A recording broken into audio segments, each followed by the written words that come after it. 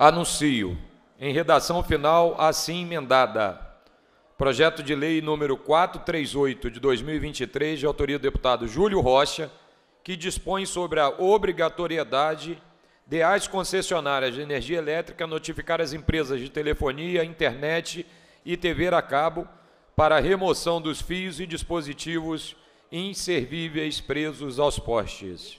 Em discussão. Deputado Luiz Paulo. Um minuto, por favor. Pode falar.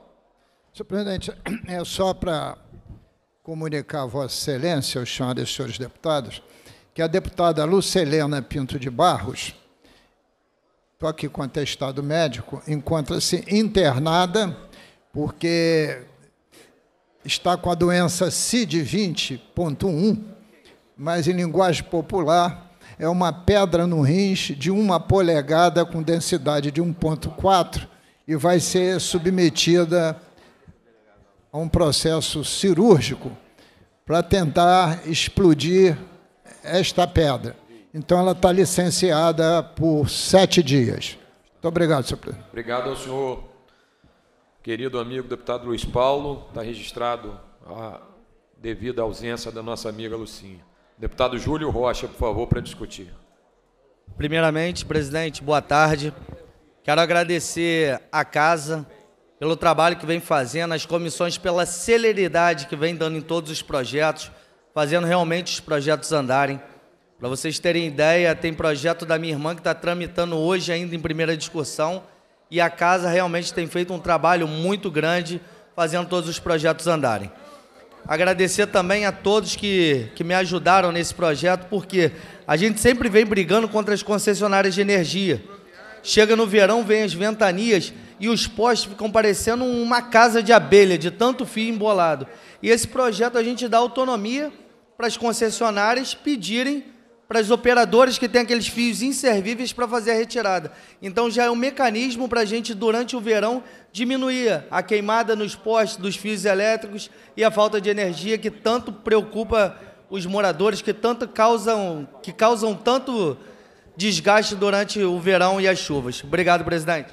Obrigado, deputado Senhor Júlio. presidente. Deputado Chico Machado, Eu por peço a favor. palavra para sobre o projeto. Quero parabenizar o deputado Júlio Rocha por essa iniciativa. Realmente, as cidades ficam de uma forma muito feia, aqueles postes com aquele material inservível e colocando em risco a vida das pessoas. Porque muitas das vezes, é, aqueles fios que ficam pendurados são verdadeiras armadilhas para um grande incêndio. Então, quero parabenizar o deputado Júlio Rocha por esse projeto e dizer que, obviamente, vota a favor e vamos cobrar as concessionárias para que, uma vez promulgado esse projeto de lei, seja efetivamente colocado no cúmplice do nosso querido deputado Carlos Mick, que tanto fala. Obrigado, presidente. Obrigado, deputado. Não havendo mais quem queira discutir, encerrada a discussão, em votação a emenda de redação. Senhores que aprovam permaneçam como estão, aprovado. Em votação, a redação final assim emendada. Senhores que aprovam permaneçam como estão, aprovado, vai autógrafo. Anuncio, em regime de urgência, em votação, em discussão única, projeto de lei número 364-2023, de autoria dos deputados Índia Armelau, Rodrigo Amorim, Dr. Serginho, Marta Rocha, Carlinhos BNH e Brazão, que autoriza ao Poder Executivo a criação do programa Prajás, Programa de Assistência Jurídica aos Agentes de Segurança Pública do Estado do Rio de Janeiro, de forma gratuita. Pareceres das comissões Constituição e Justiça pela constitucionalidade com emendas de segurança pública e assuntos de polícia favorável, de orçamento, finanças, fiscalização financeira e controle favorável com as emendas da Comissão de Constituição e Justiça. Relatores, deputados Fred Pacheco, Dr. Serginho e André Correia. Pendendo de pareceres das comissões de Constituição e Justiça, de Segurança Pública e Assuntos de Polícia e de Orçamento, Finanças, Fiscalização Financeira e Controle, as emendas de plenário. Para emitir parecer pela Comissão de Constituição e Justiça, deputado Rodrigo Amorim. Deputado Doutor Serginho. A Presidente, Pois não, deputada Me Marta. permita uma observação, boa tarde a todas e todos. Ainda agora, a CPI das, da, que trata da questão das agências reguladoras ainda estava em exercício e não poderia. Eles, eles deveriam encerrar a sessão, é. né? E todos os deputados que, que estão à frente dessas comissões estão lá na CPI. Se Vossa Excelência permitisse, se pudesse. Inverter.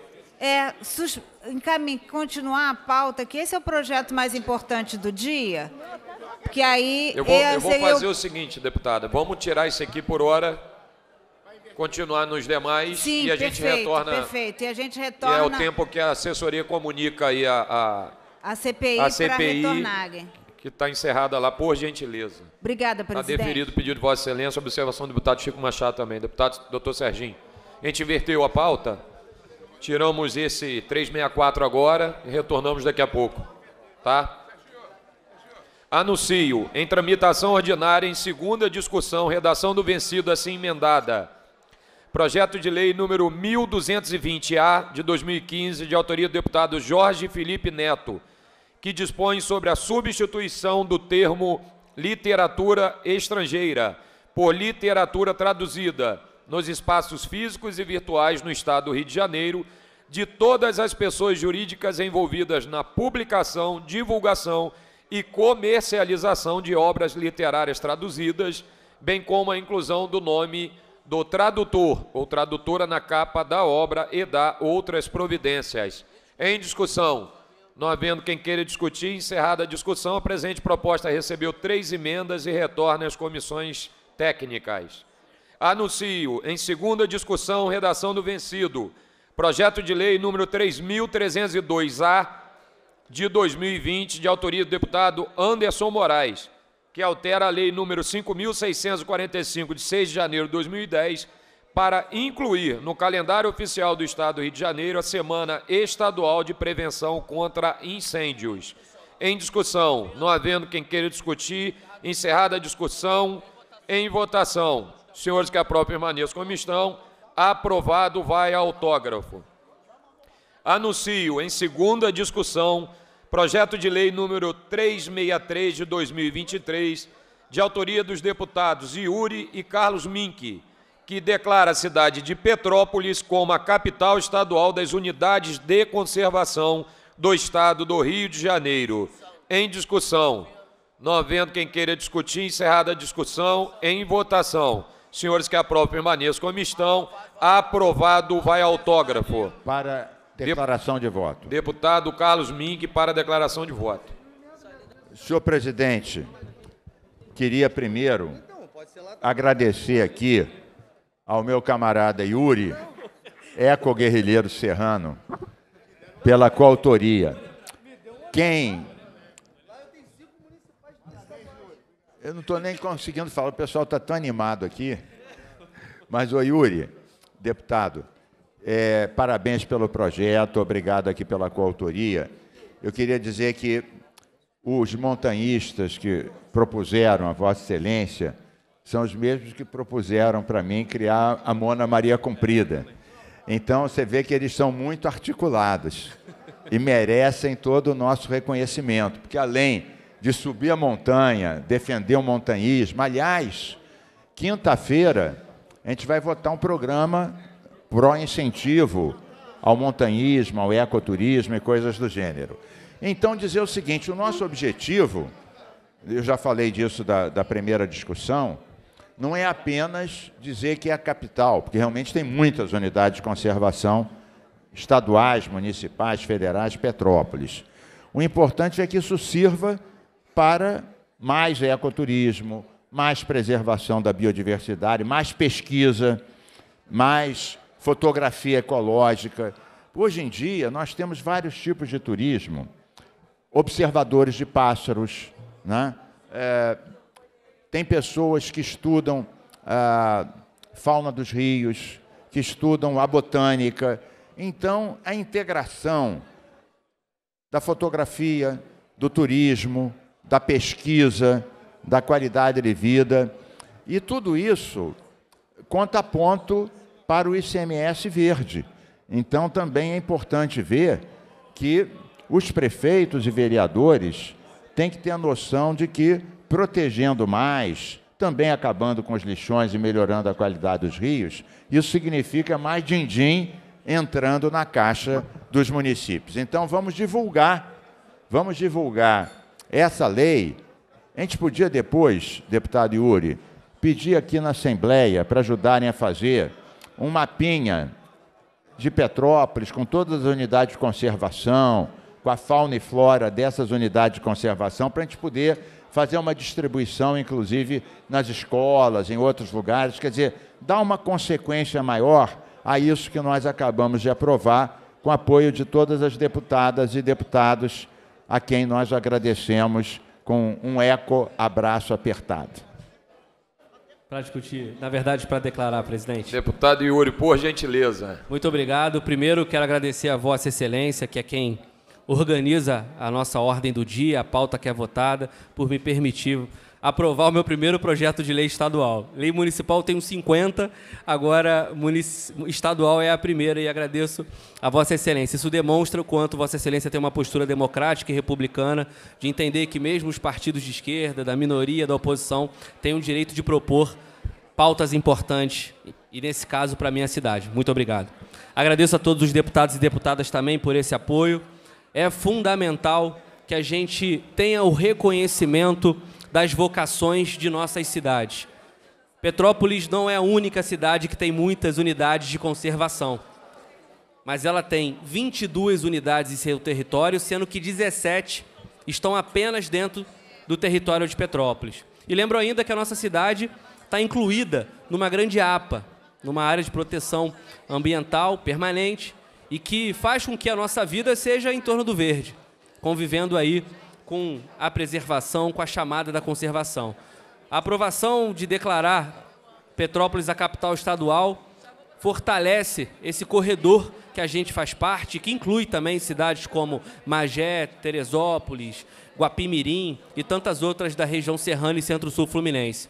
E também vai facilitar para que a gente construa um trabalho mais planejado e mais efetivo no campo do ecoturismo e também na proposição de novas unidades de conservação, sejam elas reservas particulares de patrimônio natural ou também parques propostos propostos pelo próprio município. É esse trabalho de articulação que eu vou fazer agora. Agradeço muito ao deputado Carlos Mink por estar junto de mim nisso e também para a gente poder envolver junto dos professores e professoras, educadores das nossas redes municipal e estadual, que fazem o debate de educação ambiental, essa chamada da importância de nós sermos capital estadual. Além disso, também lutar pela ampliação do ICMS verde, já que o nosso município precisa de recursos por conta da preservação, por conta da política de ocupação do espaço urbano, por conta da urgência em habitação.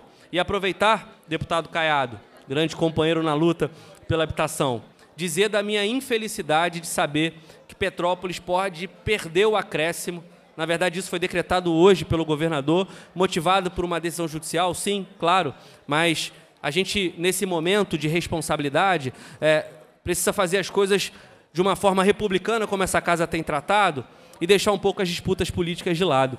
E aí me preocupa muito que a gente pode ter uma queda vertiginosa do nosso ICMS por conta dessa decisão judicial, e aí, óbvio que decisão judicial se cumpre, o Tribunal de Justiça tem essa legitimidade, a nossa confiança, mas pela forma como politicamente tem sido tratada pelo governo do Estado. Eu não vou falar disso agora, vou falar na minha, no meu expediente final aqui, mas dizer da preocupação de uma cidade que precisa ser reconstruída, que tem muitas urgências, não ter o devido apoio do governo do Estado. Muito obrigado. Presidente, pela ordem. Deputado Caiado, por favor. Primeiro, boa tarde, presidente. Te agradecer ontem à tarde a ligação ali, eu botei fé no senhor e o senhor, naquele momento, provou que eu estava certo. Obrigado. Ganhei um aparelho telefônico americano agora. O deputado me deram. Pra... Entendi, quando tá, consegue identificar. O sino canta muito alto. Eu, eu vou ser muito breve. Eu queria primeiro parabenizar o deputado Yuri, o deputado Carlos Mink, pelo, pelo excelente projeto. Eu estou propondo também mais uma unidade de conservação em Petrópolis. A gente sabe da importância a gente sabe que é, da, importância disso para Petrópolis, a gente sabe o que Petrópolis sofreu e o quanto é importante a gente ter lá diversas unidades de conservação para a tão amada cidade de Petrópolis. Meu assessor, Ricardo Lafayette, é um entusiasta do bairro de Petrópolis, a gente está aí desenvolvendo sobre o trem, sobre as preservações, sobre diversos temas que são relevantes em Petrópolis e adjacentes. Então eu, como morador, como proprietário, minha mãe, Ricardo e todos os amigos, queremos parabenizar os novos deputados Yuri e Carlos Minks pelo grande projeto. Boa tarde, presidente. Obrigado. Obrigado, deputado Caiado. Anuncio, em primeira discussão, projeto de lei número 1650 de 19, de autoria do deputado Daniel Librelon, que dispõe sobre a obrigatoriedade dos órgãos públicos do Estado do Rio de Janeiro manterem seus sítios eletrônicos atualizados. Pareceres das comissões Constituição e Justiça, pela constitucionalidade de Ciência e Tecnologia favorável e de Orçamento, Finanças, Fiscalização Financeira e Controle favorável. Relatores, deputados Chico Machado, Felipe Soares e Renato Miranda. Em discussão, não havendo quem queira discutir, encerrada a discussão, a presente proposta recebeu três emendas e retorna às comissões técnicas. Anuncio projeto de lei número 6.398-2022, de autoria do deputado Luiz Paulo, que altera a lei estadual número 5.645, de 6 de janeiro de 2010, para incluir no calendário do Estado do Rio de Janeiro o Dia do Servidor Fazendário do Estado do Rio de Janeiro. Pareceres das comissões Constituição e Justiça pela Juridicidade e de Servidores Públicos favorável. Relatores deputados Vinícius Cosolino e Marta Rocha. Em discussão, não havendo quem queira discutir, encerrada a discussão. Em votação, senhores que aprovam permaneçam como estão. Aprovado em primeira e retorna em segunda discussão.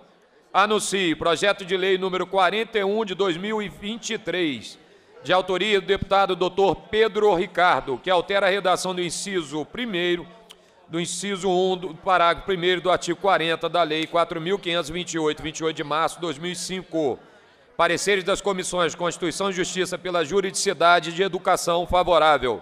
Relatores deputados Guilherme Delaroli e Alain Lopes. Em discussão, não havendo quem queira discutir, encerrada a discussão, em votação. Senhores que aprovam permaneçam como estão. Aprovado Declaração.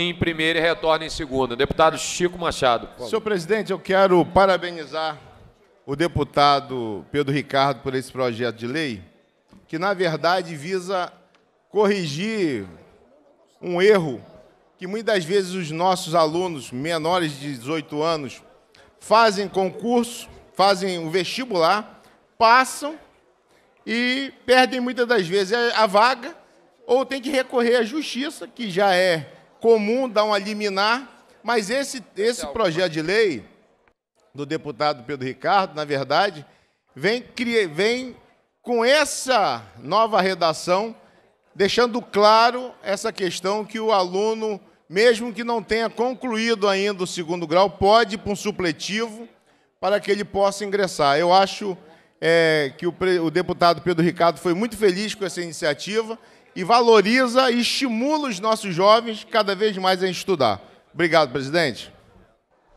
Muito obrigado, deputado Chico Machado. Anuncio em discussão única projeto de resolução número 151-2023, de autoria dos deputados Rodrigo Bacelar e Samuel Malafaia, que concede a medalha Tiradentes, seu respectivo diploma, ao comandante da Aeronáutica, o tenente brigadeiro do ar Marcelo Canitz Damasceno. Parecer da Comissão de Normas Internas e Proposições Externas favorável, relator deputado Jorge Felipe Neto. Em discussão, não havendo quem queira discutir, encerrada a discussão, em votação. Senhores que aprovam permaneçam como estão. Aprovado. Vai a promulgação.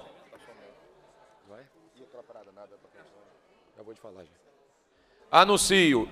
Indicação legislativa número 54 de 2023, de autoria do deputado Rosenberg Reis, que solicita ao excelentíssimo senhor governador do estado do Rio de Janeiro, senhor Cláudio Castro, a reforma do CIEP Brizolão 370, professor Silvio Geneco de Carvalho, localizado no município de Duque de Caxias. Parecer da Comissão de Indicações Legislativas pela transformação em indicação simples. Relator, deputado Felipe Soares. Em discussão. Não havendo quem queira discutir, encerrada a discussão, em votação, parecer da comissão de indicações legislativas. Senhores que aprovam permaneçam como estão. Aprovado e retorna ao autor para elaborar a indicação simples. Anuncio indicação legislativa 74-2023, de autoria do deputado Yuri, que solicita ao excelentíssimo governador do Estado do Rio de Janeiro o envio de mensagem dispondo sobre a instituição do Fundo Estadual de Proteção Animal, FEPA, no âmbito do Estado do Rio de Janeiro. Parecer da Comissão de Indicações Legislativas favorável ao relator deputado Felipe Soares. Em discussão, não havendo quem queira discutir, encerrada a discussão, em votação. Senhores que aprovam permaneçam como estão. Aprovado vai a publicação. Anuncio, incluído na ordem do dia, de acordo com o parágrafo 1 do artigo 47 do Regimento Interno, em tramitação ordinária em primeira discussão. Projeto de Lei 699 de 2023, de autoria do deputado Jari Oliveira, que altera a redação do artigo 7 da Lei 2.869, 18 de dezembro de 1997, pendendo de pareceres das comissões de Constituição e Justiça, de Transportes, de Assuntos da Criança, do Adolescente e do Idoso, de Economia, Indústria e Comércio, de Orçamento, Finanças, Fiscalização Financeira e Controle. Para emitir parecer pela Comissão de Constituição e Justiça, deputado e nosso líder, doutor Serginho. Senhor presidente, o deputado Jário falou comigo, existiam algumas emendas no projeto e teria ocorrido um acordo de absorver essas emendas. Em absorvendo essas emendas no parecer da CCJ, os autores as retirariam, não é isso? Então, parecer é pela constitucionalidade, absorvendo as emendas apresentadas em plenário. Isso não é bom, não. Só porque usou o seu nome. Muito obrigado, deputado doutor Serginho. Saudar a presença aqui do vereador Átila, no município de Cabo Frio. Seja bem-vindo a este parlamento. Para emitir parecer pela Comissão de Transportes, nosso presidente, imperador, deputado Dionísio Lins, por gentileza. Eu parecer favorável com a CCJ. Muito obrigado, deputado Dionísio para emitir parecer pela Comissão de Assuntos da Criança, do Adolescente e do Idoso, deputado Munir Neto.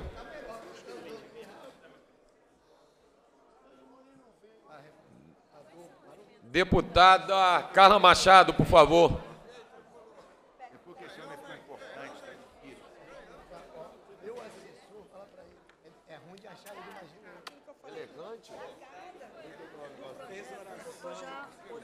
Senhor presidente, seguindo o parecer das comissões, favorável. Muito obrigado, deputada Carla. Para emitir parecer pela Comissão de Economia, Indústria e Comércio, deputado Anderson Moraes. Boa tarde, senhor presidente, demais colegas de plenário. Meu voto é acompanhando o parecer da CCJ, presidente. Muito obrigado, deputado Anderson para emitir parecer pela Comissão de Orçamento, Finanças, Fiscalização Financeira e Controle. Deputado Douglas Ruas, por favor. Presidente, parecer favorável. Com os pareceres emitidos em discussão. Não havendo quem queira discutir, encerrada a discussão. Em votação, as emendas da CCJ. Os senhores que aprovam permaneçam como estão. Aprovado. Em votação, o projeto assim emendado. Os senhores que aprovam permaneçam como estão. Aprovado. Vai a redação do vencido para a segunda discussão. Voltando ao segundo projeto da pauta e último. Pela ordem, presidente. Da sessão de hoje, deputada Érica, por gentileza. Presidente, eu queria informar é, aos meus pares que eu testemunhei uma bela demonstração de educação especial e tecnológica, como devem andar juntos. Eu tive no primeiro seminário é, no seminário de encerramento da primeira turma de especialização em educação especial e inovação tecnológica, que formou mais de mil profissionais de educação básica, voltada para a população, para pessoas com deficiência. E eu fiquei assim muito emocionada que a gente eu estive presente no auditório da Universidade é, Federal Rural, no campus de Nova Iguaçu, e estava lotado de pessoas, de formandos e formandas.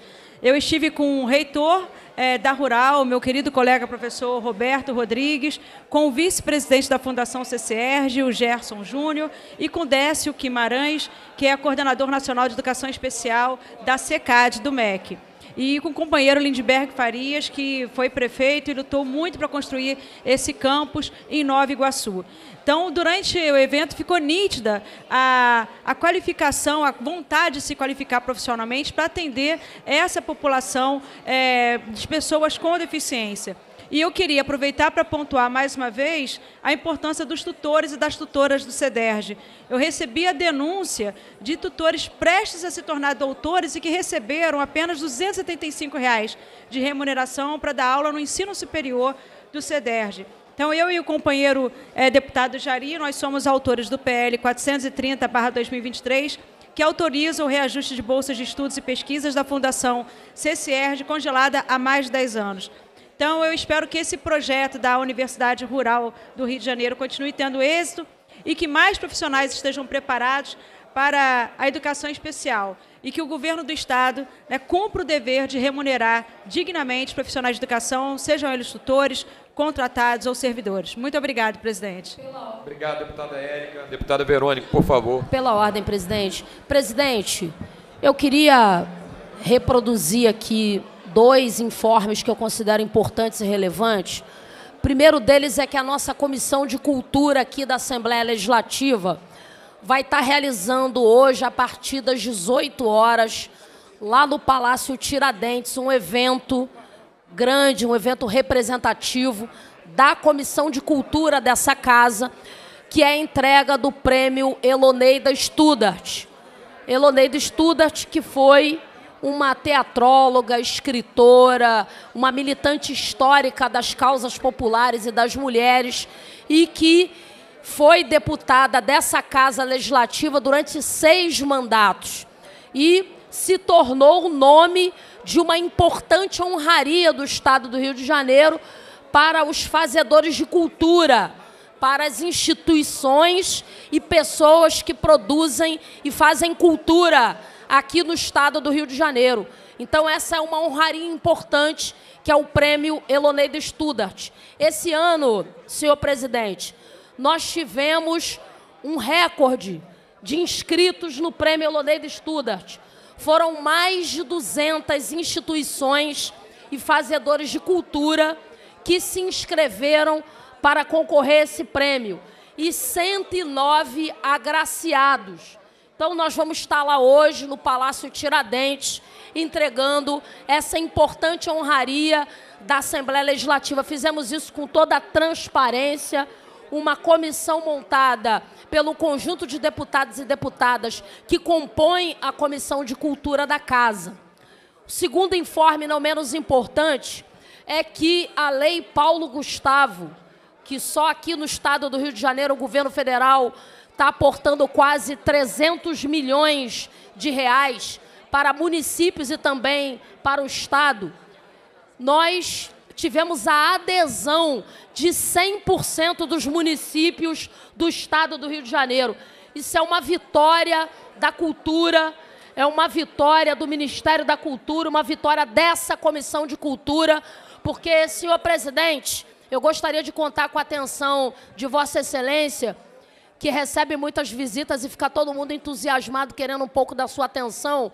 A Comissão de Cultura da LERJ promoveu diversas audiências públicas por todo o estado do Rio de Janeiro para divulgar a Lei Paulo Gustavo.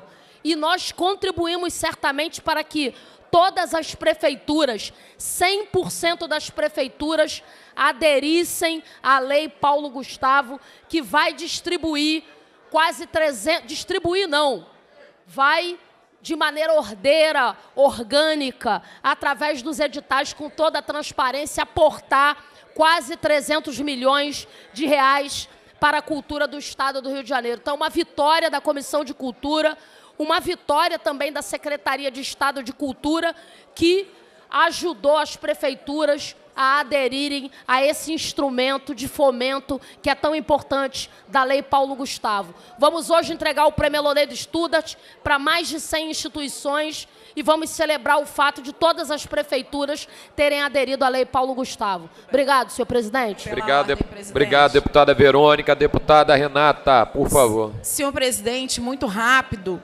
É, a gente teve no dia de ontem, 7 de agosto, a, a rememoração e comemoração, por que não, da Lei Maria da Penha, Lei 11.340, que instituiu toda uma normativa legislativa garantindo aí o acolhimento às vítimas de violência doméstica. É importante lembrar que a Maria da Penha, ela, a lei é em homenagem a essa mulher que ainda hoje dedica a sua vida contra a violência contra a mulher, mas também a superação dos impactos vividos por essas mulheres. Então é importante dizer que aos 17 anos da Lei Maria da Penha, não temos ainda, senhor presidente, a tranquilidade de acharmos que nós mulheres estamos protegidas nessa sociedade.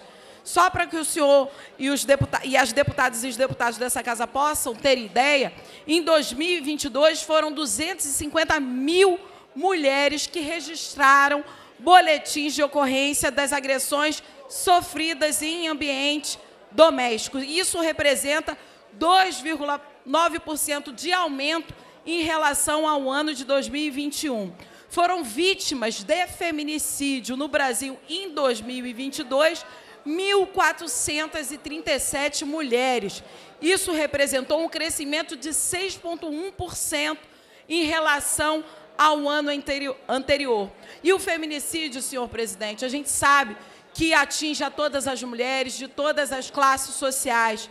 Mas quando fazemos o recorte de gênero, é importante lembrar que o feminicídio tem cor também. 62% das vítimas de feminicídios no Brasil são mulheres negras. São dois gatilhos, senhor presidente. O gatilho do machismo de uma sociedade patriarcal que quer submeter as mulheres, mas também o racismo foi um gatilho é, importante na vida dessas mulheres que retiraram a sua possibilidade de sobreviver. Então, as mulheres precisam de instrumentos eficazes, de denúncias, acolhimento e, proteção. A rede de proteção às nossas mulheres é fundamental. Então, os, tri os tristes índices, eles revelam muito o quanto que o Estado tem falhado em proteger a vida das nossas mulheres. É por isso que nós temos aqui alguns projetos de lei complementar, por exemplo, que regulamenta é, o número 61 de 2022, que regulamenta na Constituição do Estado, instituindo um auxílio provisório para a subsistência da mulher e da criança vítima de violência e da outras providências. Outro projeto também, senhor presidente, que tramita de 2019, o projeto 1607, dispõe sobre a criação de um concurso educacional no âmbito das escolas estaduais do Rio de Janeiro, sobre a temática de violência de gênero com foco na luta contra o feminicídio. E nós, senhor presidente, não poderia, poderíamos deixar de ressaltar aqui o papel hoje que a Comissão de Defesa dos Direitos da Mulher tem nessa casa, em especial com a instituição da Sala Lilás, que recebe essas mulheres vítimas de violência, mulheres que hoje, senhor presidente, muitas vezes não têm é, aparato e uma rede de solidariedade que possa acolher. Então, a Sala Lilás hoje faz nessa casa um serviço central de é, recebimento dessas mulheres, acolhimentos psicológicos, jurídicos e encaminhamento também diante da violência sofrida. Então, é importante dizer que a gente tem um 0800 aqui na LERJ, que a Comissão da Mulher atende. É o 0800 282 0119. Repetindo, 0800 282 0119. É pela vida das nossas mulheres. Muito obrigada, senhor presidente. Pela ordem, presidente. Presidente, Deputada questão de Marta, por favor. Eu quero, de uma maneira muito fraterna, me solidarizar com todas as, pela, com todas as manifestações utilizando o artifício do pela ordem. Mas nós temos as nossas galerias aqui à espera da análise de um projeto que trata diretamente da vida e dos interesses dos policiais.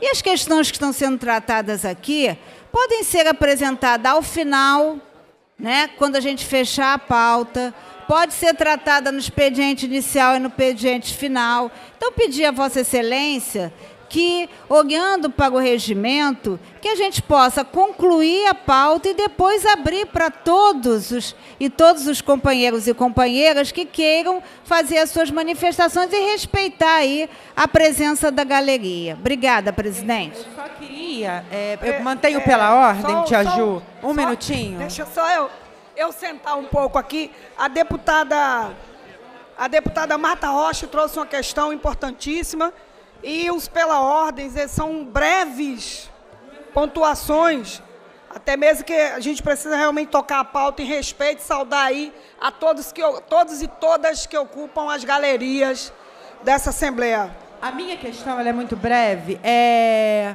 Eu não poderia vir ao plenário hoje e deixar de registrar que mais uma vítima do Estado, da política de segurança pública, caiu, tombou na Cidade de Deus, uma das comunidades mais marcadas pela violência, pela desassistência pública, onde a política pública de educação, onde a política pública de saúde não se encontra, de saneamento básico, mas a política de segurança pública há muito tempo implementada e ainda em curso continua ceifando vidas. Então, minha, o meu pela ordem é justamente para saudar a memória de um jovem de 13 anos, o Tiago, que sonhava em ser jogador de futebol e que foi mais uma vítima, um jovem negro, estudante da rede pública de ensino, vítima dessa política de perseguição à pobreza, dessa política de segurança pública que coloca justamente os agentes de segurança pública no fronte de uma guerra que não produz nada a não ser o morticínio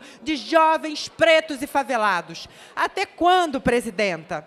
Até quando nós teremos vidas de jovens pelo chão? Até quando essa política de segurança pública vai continuar matando os agentes de segurança pública? Até quando nós não vamos encarar de frente aquilo que, inclusive, é produção de matéria legislativa por diversos parlamentares, Para concluir, que é o investimento em educação, em saúde, em oportunização da juventude, para que a gente possa, de fato, é, terminar. É, superar uma política de morticínio constante. Então, em nome do Tiago e de todas as vidas que tombaram, eu deixo aqui a minha indignação. Saudar a família e a perda do Tiago. Toda a vida, todas as vidas dos policiais e de qualquer pessoa importa.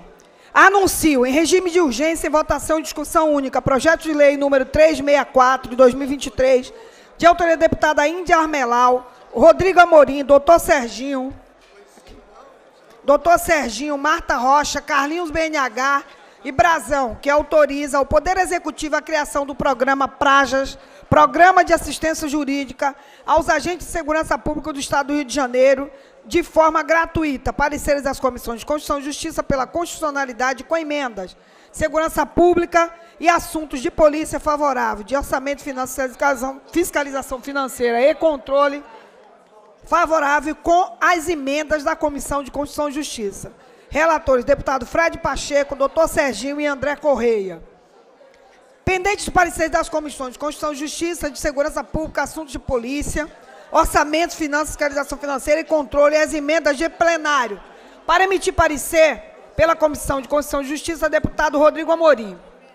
Enquanto o deputado Rodrigo Amorim se aproxima, saudar aqui o nosso querido Charles Batista, que hoje ocupa o lugar é, de conselheiro na agência reguladora, a GETRANSP, e por que faço, essa saudação? Porque, primeiramente, eu, desde que eu assumi aqui em 2015, nunca vi transitando um, é, um conselheiro de agência reguladora constantemente na nossa Assembleia Legislativa. Parabéns, porque tem vindo aqui, tem colocado sua presença, sua cara na, na CPI, está aqui no nosso meio. Muito obrigado por isso e parabéns, honrando o voto que essa casa lhe deu. Deputado Rodrigo Amorim.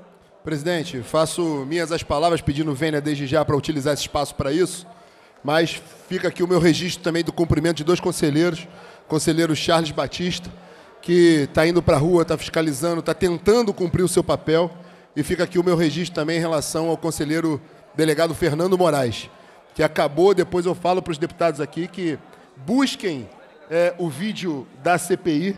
O delegado Fernando Moraes fez um relato da apatia, da incompetência que hoje reina a presidência atual da AGETRANSP, presidida pelo conselheiro Murilo Leal, que se tornou um Hugo Chaves da AGETRANSP, já está há cinco anos lá, não oxigena o mandato, uma apatia tremenda. Confessou hoje na CPI que se os trabalhos hoje paralisarem, em mais de 10 anos será necessário para julgar os processos regulatórios que estão tramitando hoje.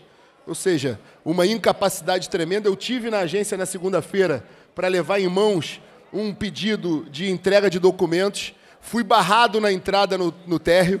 Fui levado ao segundo andar, onde eu tive que fazer ali um, um registro da minha vida inteira com todos os dados. E ainda assim eu fui impedido de acessar eh, a administração da GETRANSP.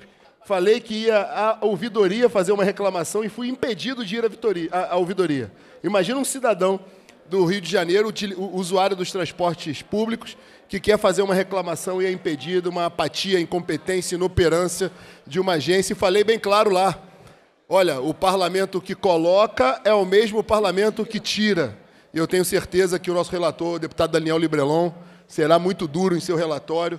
E fica aqui o sinal para toda a população que estão aqui, os deputados da bancada de esquerda, da oposição, os, bancados, os deputados conservadores, os deputados de todas as matizes ideológicas concordando que a agência tem que ter um bom serviço, um serviço de qualidade. Então, aproveitar a deixa de Vossa Excelência para fazer uma breve menção sobre isso, me desculpando mais uma vez É, por eu- utilizar o tempo do Eu queria do, do parecer. aproveitar o momento e destituir Vossa Excelência do Tô seu fora. parecer, porque Vossa Excelência é autor. E chamar o deputado. É verdade, eu sou coautor, já que O deputado aceito o Fred castigo. Pacheco. Aceito o castigo de Vossa Excelência, porque utilizei indevidamente a palavra aqui. Pro Deputado Fred Pacheco. Vossa deputado Excelência é relator, coautor, não pode. Fred Pacheco. Aqui, ó. O senhor também está impedido, mas esse censo do- da- das agências reguladoras acho que é comum aqui. Já deu, passa. Parecer da CCJ às emendas de plenário, eh, presidente, é favorável às emendas números 28, 29 e 36 e favorável com subemenda às emendas números 3, 17, 29 e 35. Pela Comissão de Segurança Pública e Assuntos de Polícia, deputado Márcio Glauberto. Deputado Felipe Soares. Só para chamando os trabalhos à ordem, presidente, só para fazer uma pequena correção, mais uma vez, o favorável às emendas número 28 e 36 e favorável com subemenda às emendas número 3, 17, 29 e 35. Ok. Deputado, pela Comissão de Segurança Pública, Assuntos de Polícia, deputado Carlinhos BNH. Presidente, mais uma vez, me perdoe, aqui existem as prejudicabilidades também, então chamando mais uma vez os trabalhos à ordem. Prejudicadas as emendas número 9, pela rejeição da emenda número 6 e número 10, pela rejeição da emenda número 7, número 12, pela rejeição da emenda número 5, números 14, 16 e 26, pela rejeição da emenda número 1, números 18 e 30 e 34, pela rejeição da emenda número 11, número 25, pela aprovação com subemenda da emenda 17, número 32, pela rejeição da emenda número 8 e contrário às demais emendas, concluindo por substitutiva. Muito obrigado, presidente. Concluindo por forma final de redação, por favor. Deputado Carlinhos BNH, para emitir parecer pela Comissão de Segurança Pública e Assuntos de Polícia. Boa tarde, senhora presidente. Primeiramente, parabenizar todos os deputados que participam desse projeto, projeto muito importante para o agente de segurança pública. Meu parecer é favorável, estou acompanhando a CCJ. Pela Comissão de Orçamentos, Finanças, Fiscalização Financeira e Controle, deputado André Correia. Deputado Carlos Macedo. Deputado Douglas Ruas. Presidente, é, Antes do parecer, queria aproveitar para parabenizar todos os autores desse projeto, em especial a nossa amiga deputada Índia, que tanto está batalhando para a aprovação desse projeto. O parecer da Comissão de Orçamento acompanha o parecer da CCJ as emendas de plenário. Com os pareceres emitidos, em discussão, para discutir, deputado... É, desculpa. Deputada Marta Rocha, desculpa. que está na minha frente. É, a presidente chama os trabalhos à ordem. Em votação, o substitutivo da Comissão de é, Constituição e Justiça. Senhores que aprovam, permaneçam como estão. Aprovado. Aprovado, a menos dos destaques, A senhora. menos os destaques. Salvo, salvo os destaques, deputado Luiz Paulo. Há sobre a mesa o destaque para aprovação é, da emenda modificativa número 15. Deputado Iuri. Presidenta, eh, delego a companheira deputada Dani Monteiro para fazer a discussão e a defesa. Deputada Dani. Senhora presidenta, é, queria aqui muito é, nitidamente defender para os deputados e deputadas que o que nós trazemos aqui enquanto bancada é a possibilidade real da regulamentação e da execução do projeto que hoje, na sua forma como está, de fato apresenta questões. Então é um debate de mérito e de um lugar como defensora de direitos humanos, de quem entende que todos e todas têm direito à defesa e deva ser sim garantido pelo Estado. Então é salutar que o agente da segurança pública, no exercício de sua função, possa sim ser resguardado por uma assistência jurídica gratuita. No entanto, o órgão para atender essa especificidade é a questão aqui. Sei que o doutor Serginho também é autor de matéria semelhante, e na própria matéria do doutor Serginho tem a Procuradoria-Geral do Estado como órgão que seria, deputada Tia Ju, garantidor dessa política. A Procuradoria-Geral do Estado hoje conta com mais de 280 procuradores em exercício. Procuradores que ganham, na sua grande maioria, mais do que nós. A grande maioria dos procuradores, se não todos, ganham mais líquido do que os deputados dessa casa. Então, ao nosso ver, é um órgão mais do que qualificado para fazer a defesa dos policiais. São advogados no topo da carreira, com alta remuneração e que podem, sim, garantir aos agentes da segurança a sua devida defesa. Então, as emendas destacadas aqui pelo PSOL não são emendas para destruir o projeto, não são emendas para atracar a natureza do projeto, mas sim resolver questões, porque hoje o Fundo da Segurança Pública não tem previsão orçamentária para gastos com a advocacia popular dos policiais.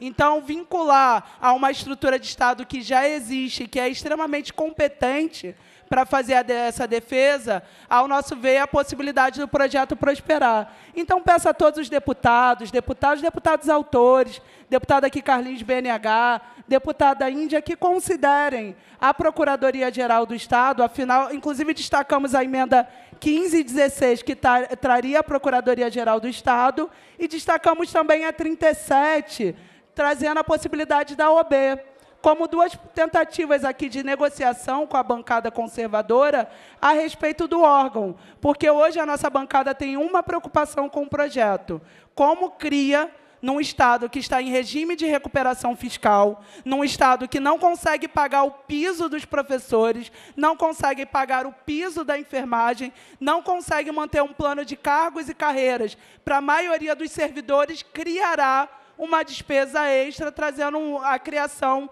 de um novo órgão. Então, peço aqui aos meus pares a sensibilidade, aqueles, inclusive, especialmente esses que são a favor da matéria, que considerem ou a PGE ou a OAB, especialmente a PGE, como esse órgão que poderia fazer essa defesa dos agentes de segurança. Presidente, é, pelo regimento, a gente pode, nosso Marquinhos pode confirmar, a gente pode fazer uma contrarrazão ou contraditar os argumentos. Então, na condição de uma das autoras, eu queria apenas fazer algumas observações. A primeira, né, que eu fico muito feliz de saber que não há por parte do, do pessoal, eu jamais pensaria isso, qualquer intenção que não seja de viabilizar esse projeto.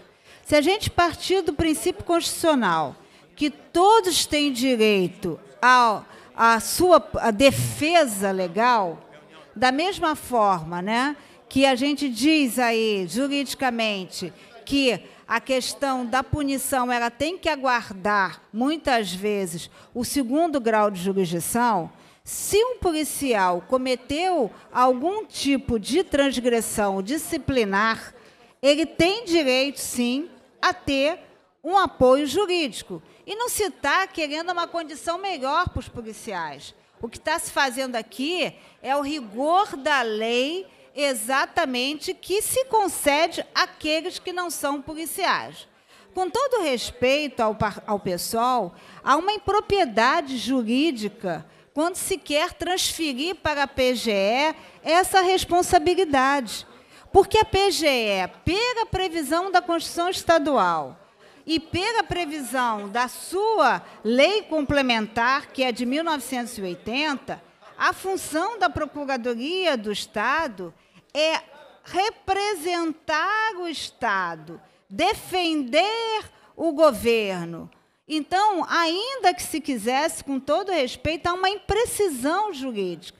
É claro que eu concordo com a fala que os procuradores do Estado que podem advogar, eles ganham uma duplicidade de salários, o que não é permitido, por exemplo, na Defensoria Pública. Então, se a Procuradoria do Estado fizer um programa de advogado dativo, em que cada um dos procuradores ofereça um dia do seu trabalho para defender um policial, eu vou estar aqui aplaudindo de pé essa decisão. Mas obrigar a Procuradoria-Geral a fazer essa defesa, essa defesa, me perdoe, mas é uma imprecisão jurídica. Quem pode fazer isso é a Defensoria Pública. E aí sim a gente deveria, e eu fico muito à vontade para falar isso, deputado Chico Machado, porque também tem um projeto anterior a esse, todos se lembram disso. Nós fizemos, inclusive, um acordo de procedimento para que esse importante projeto tivesse continuidade, mas eu, como chefe da Polícia Civil, fiz um termo de cooperação com a Defensoria e criei na sede da Polícia Civil uma sala para a Defensoria, para que a Defensoria pudesse atender os policiais civis em todos os assuntos, deputado Marcelo Dino, por exemplo, né, num questionamento previdenciário. Por exemplo, em orientar um policial numa questão de direito civil, ou da vaga de órfãos, ou da vaga de família. Então, assim, a minha única questão é que há uma imprecisão jurídica nesta, nesta emenda. E, portanto, ao nosso ver, sem querer aqui fazer a leitura da presidência, é uma imprecisão que não permite né, a, a, a, o aceite dessa emenda parlamentar. Desculpe se eu me excedi. Deixa, é, em votação, os senhores que aprovam, é, permanecem como estão rejeitada. A, a, destaca a emenda número 37. A bancada do PSOL vota favorável ao destaque da emenda. A bancada também do PT vota favorável. A proposta foi rejeitada. Destaque a emenda número 37 também da bancada do PSOL. Foi feita a defesa em conjunto ou não? Né? Quem vai fazer a defesa? Já foi feita. Eles falaram que fizeram. Em votação. Em votação. Pessoas que aprovam, permanecem como estão, rejeitada, consignando o voto favorável da bancada do PSOL e da bancada do PT. Emenda, é, destaque a emenda é, número 1 e, e do deputado Luiz Paulo e a emenda número 31. Deputado Luiz Paulo. Vou sustentar, senhor.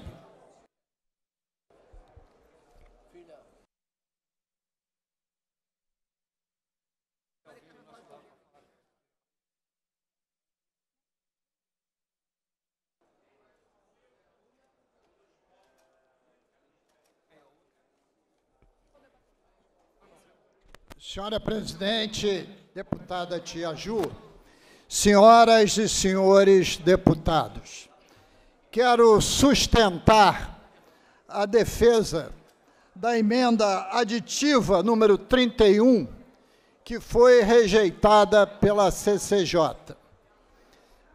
São autores desses projetos de grande relevância três excelentes juristas: deputado Rodrigo Amorim, deputado Doutor Serginho e a nossa querida deputada Marta Rocha. Três excelentes juristas. E também a deputada Índia Armelau, o deputado Carlinhos, do BNH, e o deputado Brazão. Mas por que dei destaque aos três excelentes juristas?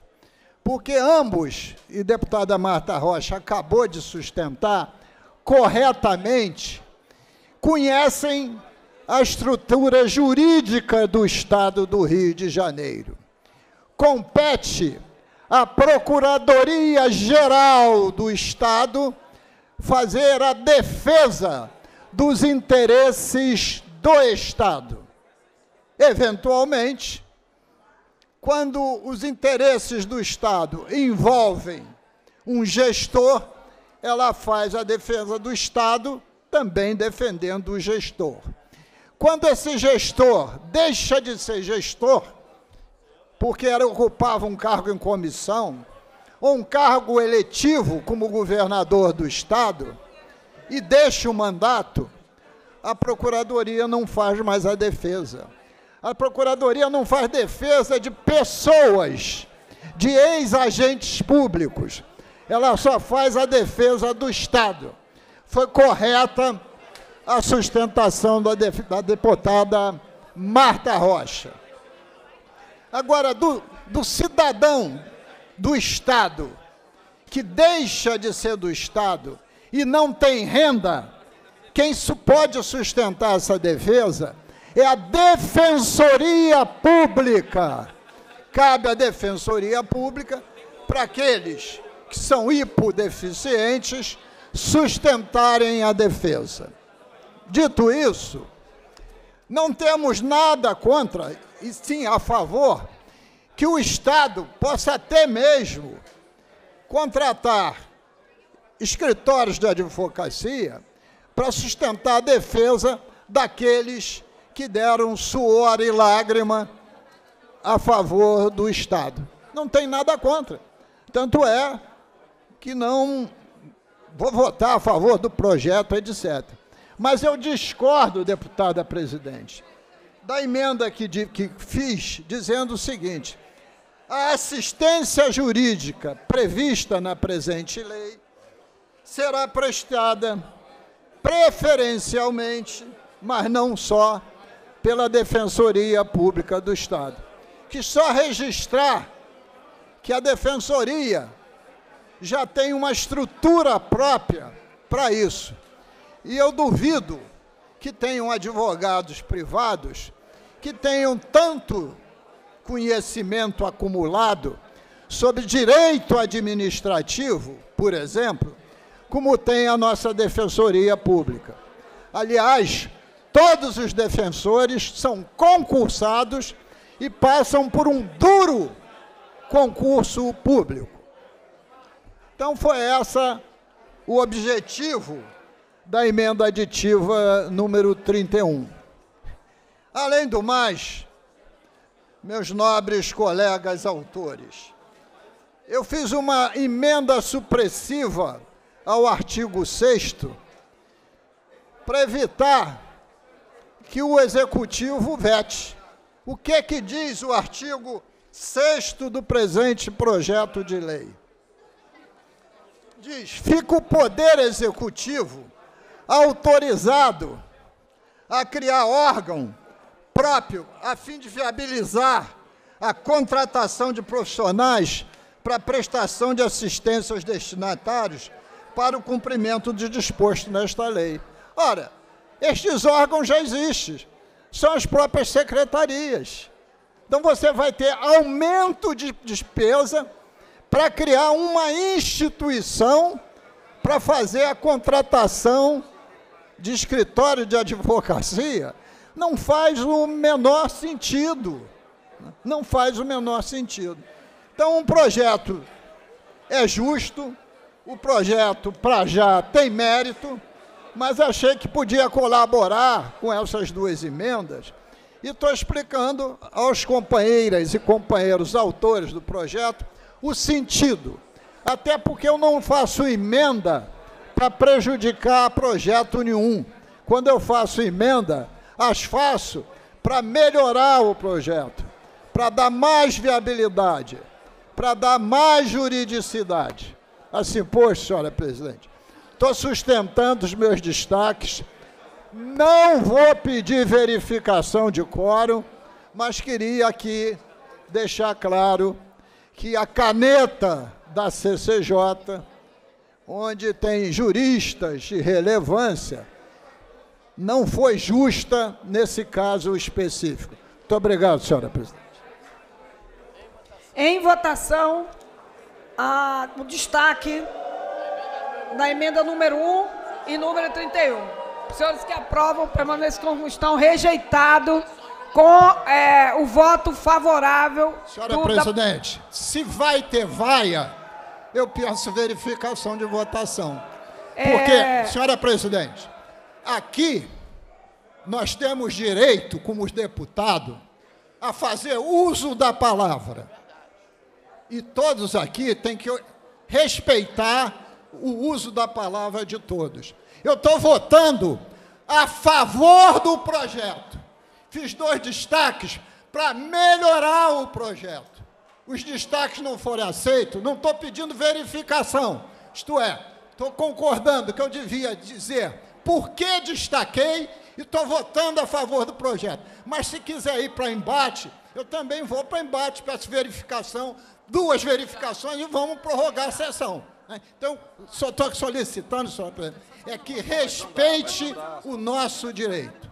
Muito obrigado, senhor. Vossa Excelência tem toda a razão e ficou bem claro na, na fala de Vossa Excelência que o destaque é para pontuar é, questões que Vossa Excelência julga importante, mas o senhor deixou bem claro que é favorável ao projeto, não é contra o projeto, é favorável à proposta apresentada aqui. Talvez a galeria não, não tenha compreendido.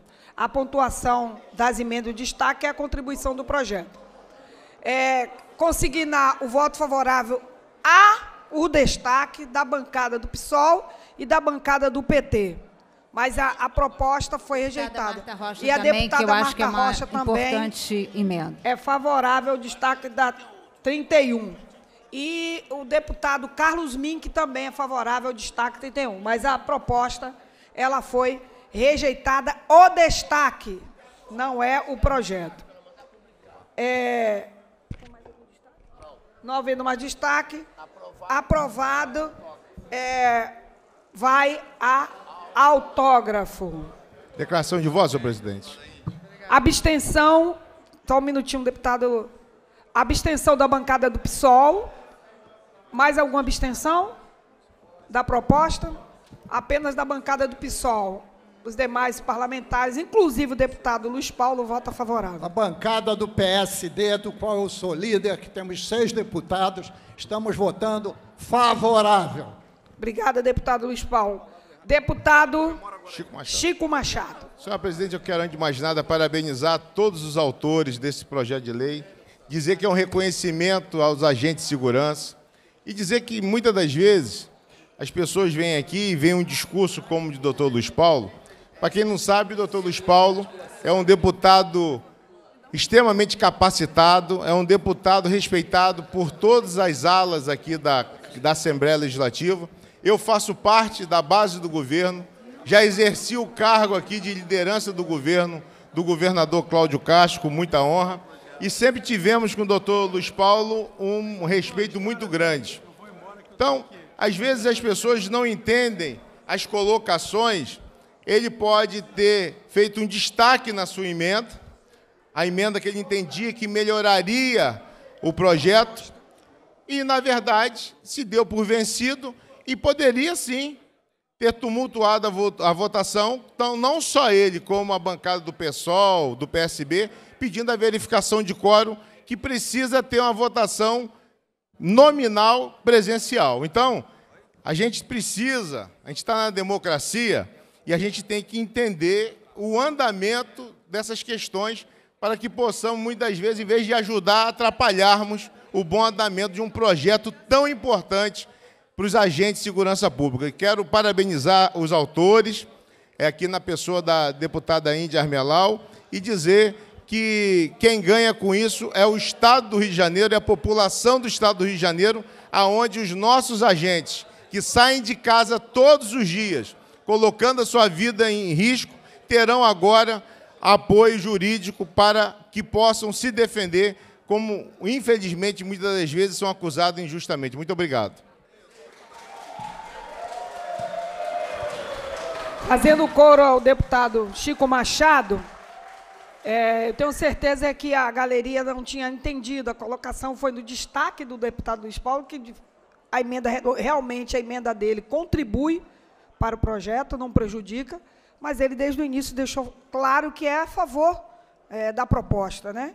Então a gente realmente precisa tomar cuidado para não haver é, obstrução onde não precisa ser obstruído, que é um direito de todo parlamentar mas o, de, o deputado Luiz Paulo, a gente usa ele até aqui, todos de direita, de esquerda, me, meu mandato usa muito, até como consultoria.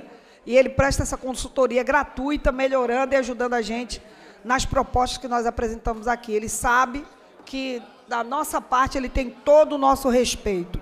Deputada Índia Armelar, autora, logo em seguida, deputada Marta Rocha.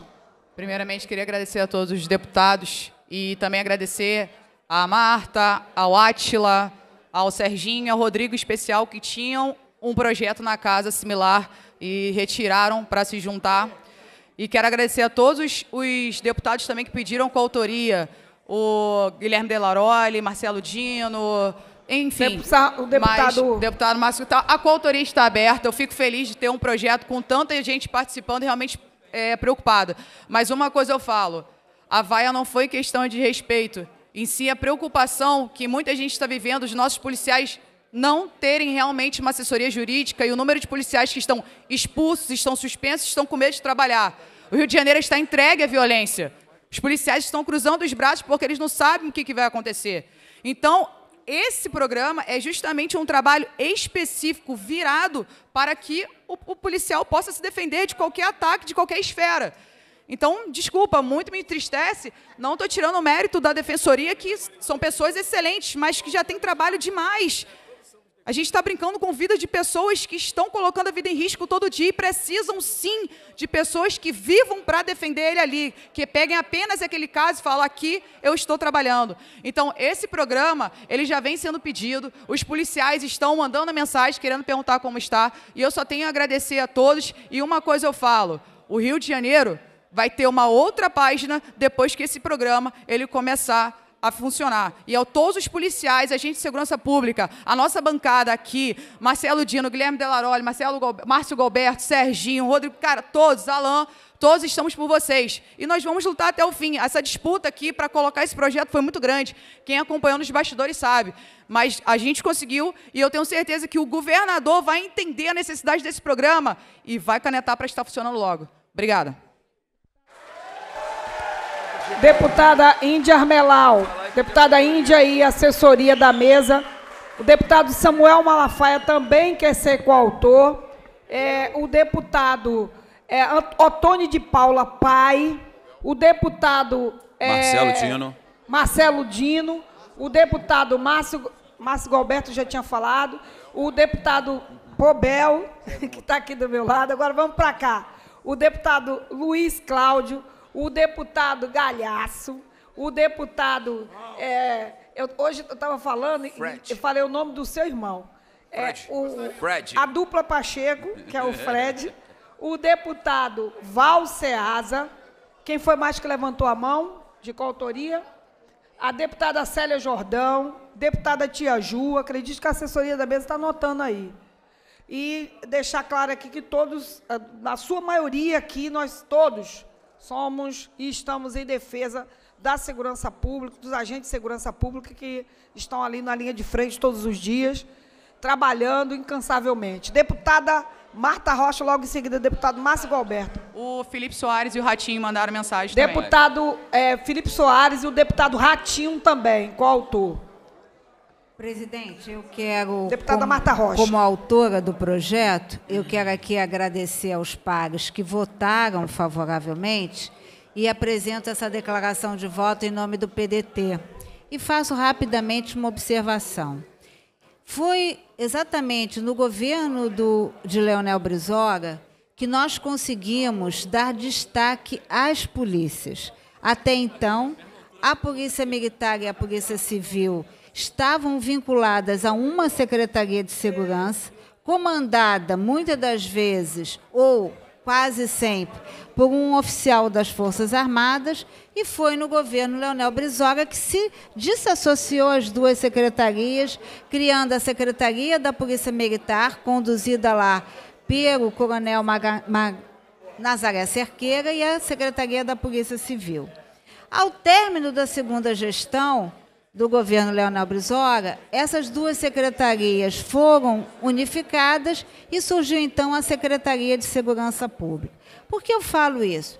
Porque, ao contrário do que querem dizer com uma narrativa, ou a gestão trabalhista sempre foi na defesa do servidor público e na defesa dos trabalhadores.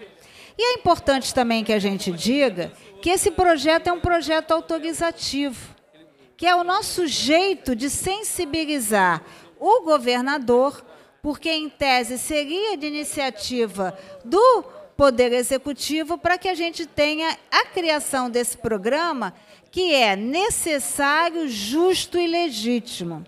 Necessário porque a cada dia de trabalho os policiais demonstram competência e coragem.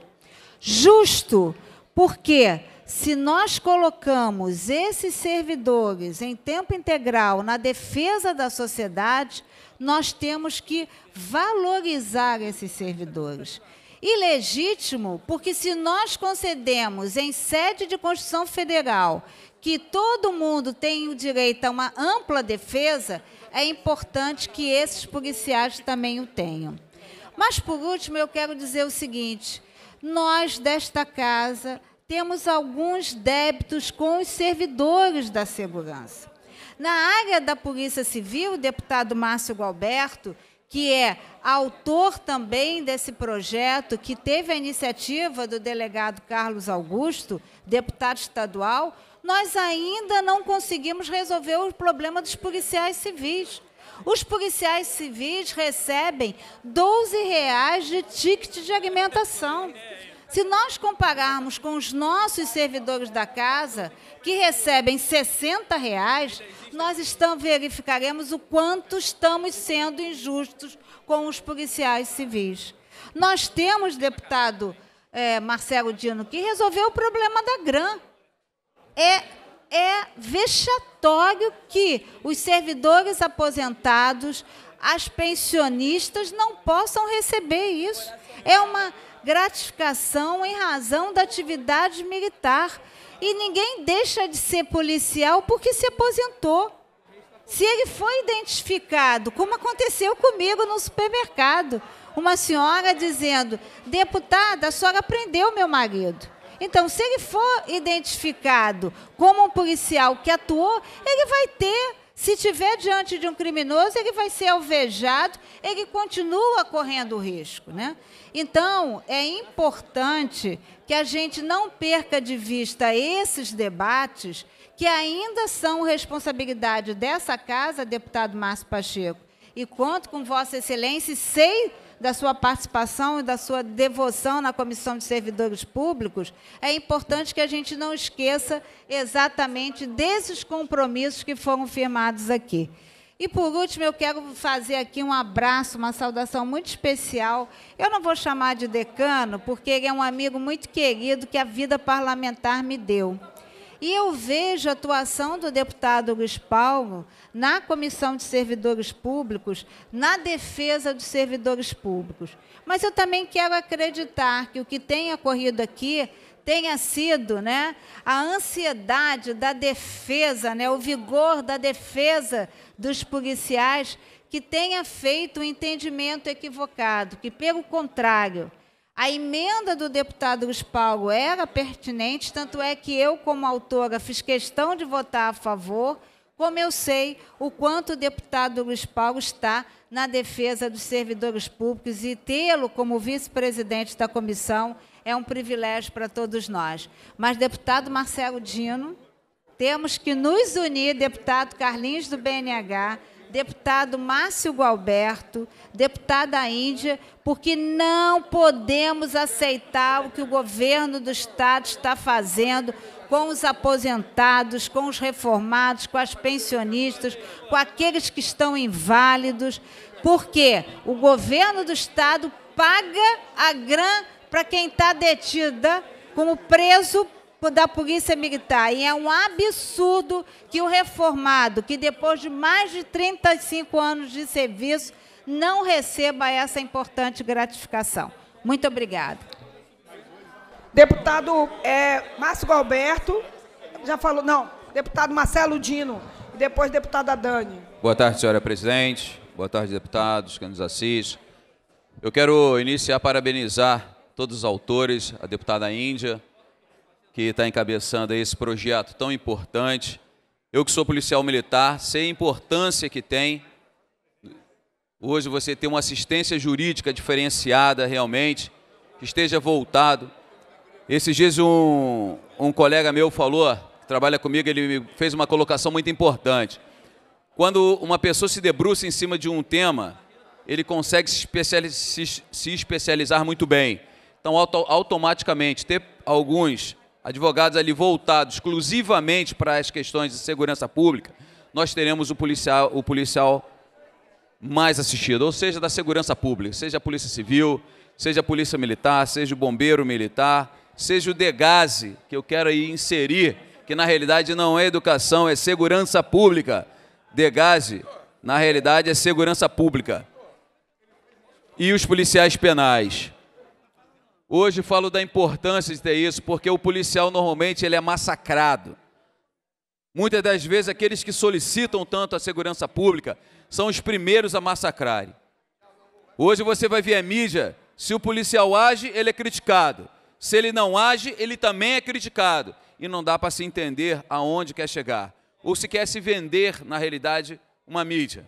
Essa é a grande realidade. E botar a última barreira que existe para realmente, realmente contra o mal, que é a segurança pública, que é uma grande realidade, nós somos a última barreira contra a sociedade. E para mostrar um exemplo claro, Márcio Galberto, basta ver hoje o que eu estou sofrendo. Ameaça do tráfico, ameaça da milícia. Aí você imagina o policial também, que hoje fica desestimulado, porque você observa alguns fatos que acontecem né, que nós temos que trazer esse debate aqui para casa, da DPF 635, que é um absurdo, onde nós temos 11 policiais afastados, de cabo a tenente-coronel, que era comandante do 7 Batalhão. Por quê? Por uma inconsistência jurídica, para mim, na minha opinião, numa interpretação. E quem tem que legislar a questão penal somos nós, deputados estaduais e não deputados federais. Bato nessa tecla constantemente porque o deputado lá de Curitiba, do Rio Grande do Sul, não sofre a realidade que nós, deputados, sofremos aqui, junto com os nossos familiares. E hoje eu sinto isso na pele. E sinto o que meus colegas, já senti o que os meus colegas sentiram os oito anos que eu passei ali na Polícia Militar, o senhor na Polícia Civil. Então quero aqui parabenizar e dizer que já pedi a coautoria, que nós estamos juntos lutando. E quando a deputada colocou a questão da GRAM, eu quero lutar que eu também sou policial, não tenho grã. Infelizmente, Márcio, existem algumas pessoas que tentam colocar, usar pessoas politicamente, dizendo que não é interesse de alguns deputados aqui lutar pela grã. Todos nós aqui queremos sim que todos tenham grã, inclusive eu serei um dos beneficiados. E aí eu não quero ter benefício, só se eu for maluco, eu estou doido. E aí eu peço às pessoas, eu quero falar aqui na tribuna, que o meu gabinete está aberto para o major, para o coronel, que estão me arrebentando aí nas redes sociais dizendo que eu não quero trazer grã. e desafio qualquer um a mostrar, a mostrar no meu mandato passado quanto eu lutei, quanto nós guerreamos, quanto nós lutamos. Como foi dito aqui, é um projeto de lei autorizativo, mas hoje a maioria dos deputados, dos policiais e bombeiros receberam 27,5% a mais da GRET, que partiu do nosso gabinete e tantas outras coisas, fora os 62,5% da GRAN, que incide sobre a GRET. Então, quer dizer que nós estamos aqui prontos a lutar. E ao invés de ter essa divergência, tem que ter sim um consenso, um diálogo, e no gabinete do BNH, no gabinete do Márcio Galberto e de demais deputados do meu gabinete, e parar com essa politicagem, Majorzinho, que isso é muito feio. Um abraço a todos e uma boa tarde. Deputado Márcio Galberto. Senhora presidente, agradeço pela oportunidade, procurarei ser breve. Primeiramente, eu quero agradecer a deputada Índia Armelau e todos aqueles que são os responsáveis pelo projeto de lei 364-2023, que dará assistência jurídica para os profissionais da área de segurança pública, um projeto muito importante que vem em bom momento.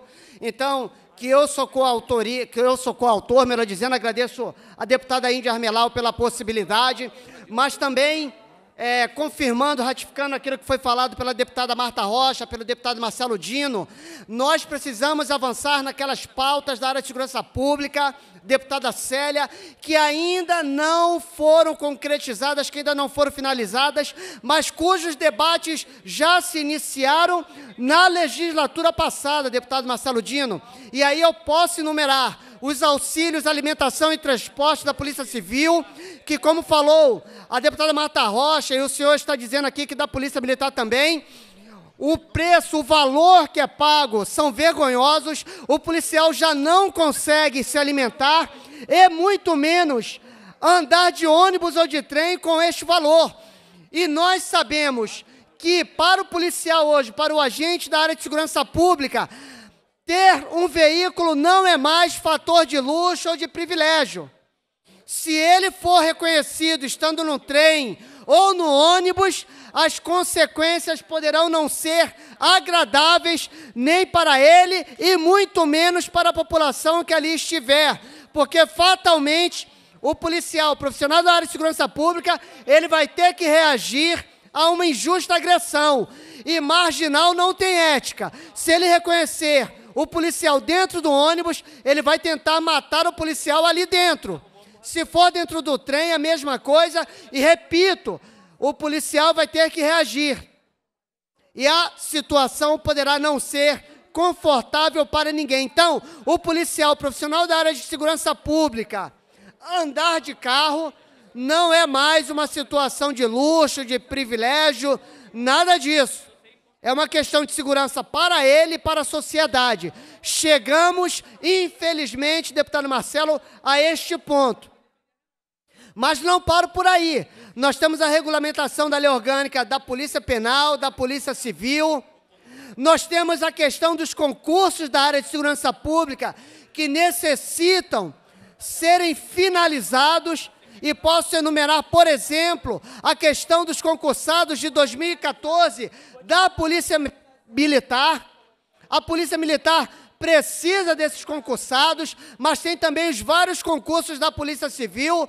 Eles precisam ingressar imediatamente, porque a Polícia Civil, como é do conhecimento de todos, hoje tem um déficit muito grande de policiais, assim como a Polícia Militar, assim como a Polícia Penal. Então, nós precisamos resolver esses fatores. Ganhará a área de segurança pública, mas ganhará também a própria sociedade. Este debate que já teve início, repito, este debate, ou melhor, estes debates já tiveram início, precisam ser finalizados.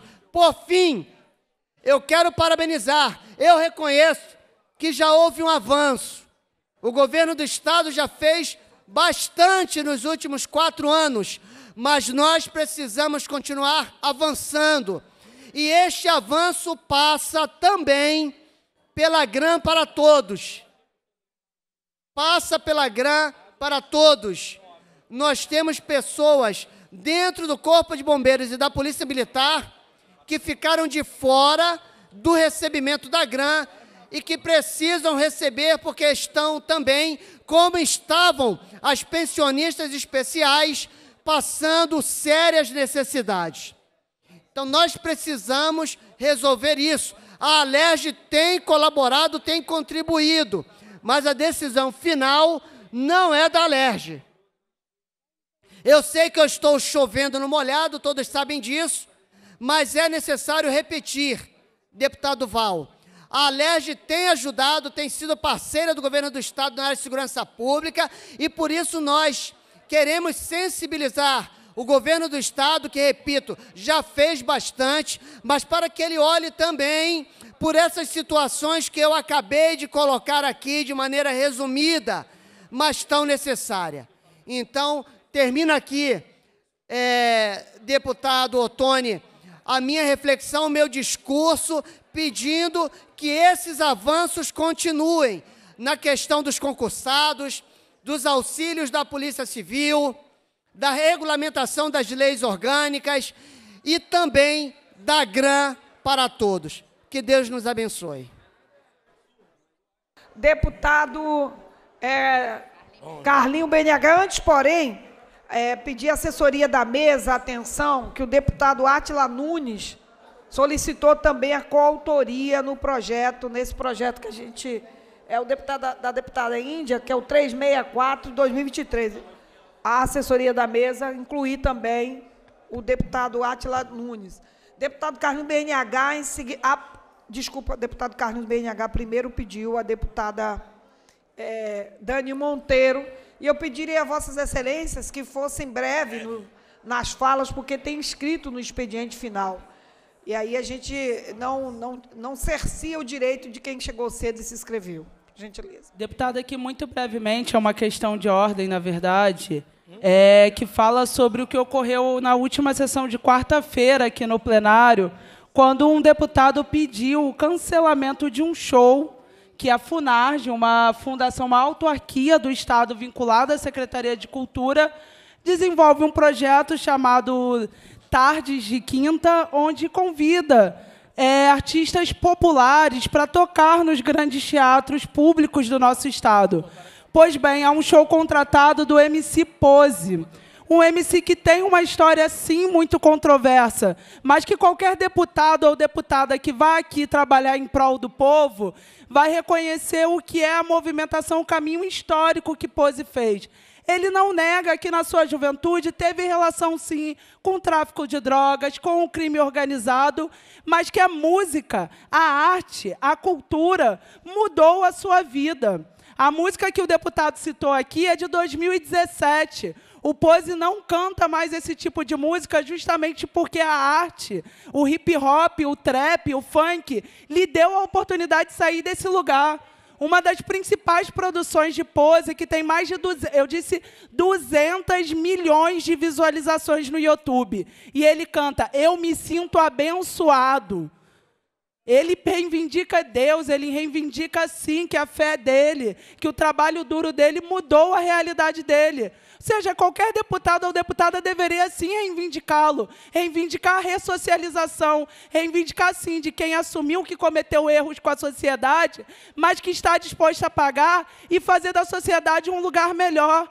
A Main Street, produtora da onde Pose é vinculado, tem mais de 700 milhões de visualizações por ano. Pose já tocou na final da Libertadores, é um grande ídolo da torcida do Flamengo. Se apresentou em festivais como Rock em Rio, o maior festival de música no Brasil diversos outros palcos gigantes. Esse é um artista gigante, ele é a voz da nossa geração. Eu, como jovem negra da favela, reivindico Pose como alguém que canta a minha realidade, que é capaz, sim, de sonhar a partir dessa dura realidade. Então, que a cultura seja a sua porta de salvação, não apenas de Pose, mas de muitos outros jovens. E que a FUNARG seja reconhecida na sua autonomia de montar a sua programação. A Funarge é sim uma fundação atrelada à defesa da cultura popular, da cultura de rua, da manifestação legítima daqueles que vêm da base da sociedade, entendendo que a arte é sim expressada a partir da sua realidade e que canta algo que está à frente do seu tempo. Então peço aqui a partir de uma moção assinada por 16 deputados, conta aqui com a assinatura do deputado Luiz Paulo, deputada Renata Souza, deputado Flávio Serafini, deputado Yuri, deputado, deputada Carla Machado, Renato Machado, Andrezinho, muitos outros deputados, Verônica Lima, nossa presidente da Comissão de Cultura.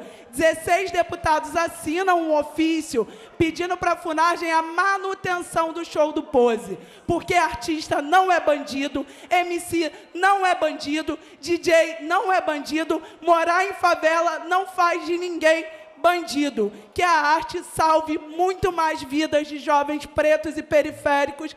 Vida longa ao Pose, vida longa as suas músicas. E como Pose, eu digo, eu me sinto abençoada. Deputado Carlinhos BNH. Senhora presidente, iniciar parabenizando primeiramente todos os deputados aí, autor, autor Índia Armelau e os coautores desse projeto de muita importância para a segurança pública do nosso Estado. Eu, como policial militar, sei o que é isso, o que é não ter o auxílio jurídico, assistência jurídica, para nos proteger, nos defender. Hoje nós vivemos num, num Estado violento, onde o policial militar as forças de segurança vivem o tempo inteiro na ponta da navalha. Cansei de participar de operações, presidente. Infelizmente, na comunidade, o tráfico muitas vezes manda o morador ir para a rua. Manda ir para a rua quando a polícia entra. Polícia militar, a polícia civil, ela não entra em comunidade para dar tiro em qualquer um. Nós não entramos desse jeito. Mas, infelizmente, quando acontece um acidente, é o policial que é condenado, é o policial que é acusado. E muitas das vezes, o policial não tem condições nenhuma de pagar um advogado para defender o mesmo. Então é de muita importância esse projeto. De antemão, já pedi para que o governador Cláudio Castro olhe com atenção para esse projeto, sancione esse projeto, que é um projeto autorizativo, que vai fazer a diferença na vida do agente de segurança pública. Nós precisamos hoje no estado do Rio de Janeiro dar o respaldo para o agente de segurança pública. Pelo momento que nós vivemos, nunca no estado, do, no, no Brasil, no mundo, se prende tanta arma como se prende aqui no estado do Rio de Janeiro. A polícia militar é a polícia que mais atua. E vou dizer também que é a polícia mais odiada, porque é a que está na ponta do problema. Quando tem uma briga de marido e mulher, é a polícia militar que vai. Quando tem uma discussão de família, é a polícia militar que vai. Quando tem uma operação na comunidade, é a polícia militar que vai. E quando morre um traficante, nunca é traficante. Ele é mototáxi, ele é trabalhador, é isso ou aquilo. Essa que é a verdade. Mas, mais uma vez eu vou falar, precisamos do respaldo jurídico, sim. Precisamos da ajuda, sim. Porque ninguém sai de casa para arriscar a vida se não amar aquilo que faz. E eu falo isso que eu senti na carne isso. Colegas meus que foram excluídos injustamente porque não teve condições de pagar um advogado para defender. E vou dizer uma coisa, respeito máximo a minha amiga aqui, a Dani, acabou de sair daqui, mas vou dizer, eu como policial também, já acabei com o baile em comunidade que o Pose estava cantando música para o tráfico.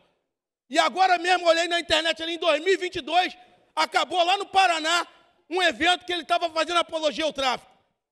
A cultura é muito importante, mas esses artistas têm que entender que eles são formadores de opiniões. Eles não podem ir para os eventos deles e cantar música de apologia ao tráfico, ao crime. E quem é que paga com isso? Eu estou dizendo aqui, presidente, que quando o agente de segurança pública ele erra, ele é condenado. Ele é condenado pela sociedade, que muitas vezes não merece o sangue que o agente de segurança pública derrama. Ele é condenado por uma mídia covarde, que só publica o que o policial e o agente de segurança pública faz de ruim ou se ele comete algum erro. Mas não publica quando ele salva uma família de um sequestro. Não publica quando ele prende um 57 que assaltou uma senhora no ponto de ônibus. Não publica isso. Então, por isso que é importante a gente ter o respaldo jurídico.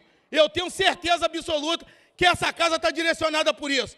Essa casa aqui está com intenção de lutar pela segurança pública. Aqui não é lado partidário, nem ideologia, não. Isso aqui é briga pelas nossas famílias.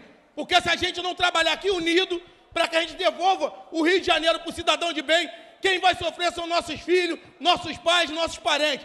Então é responsabilidade de toda essa casa aqui lutar pela segurança pública e dar respaldo para os agentes de segurança pública. E eu fico muito feliz, Dino, de fazer parte de pro, desse projeto. Um projeto muito importante, que é o primeiro passo para a gente demonstrar para o agente de segurança pública que aqui com a gente eles vão ter sempre o respeito e que nós estamos do lado dele. Boa tarde, muito obrigado, presidente. Deputado Otônio de Paula Pai.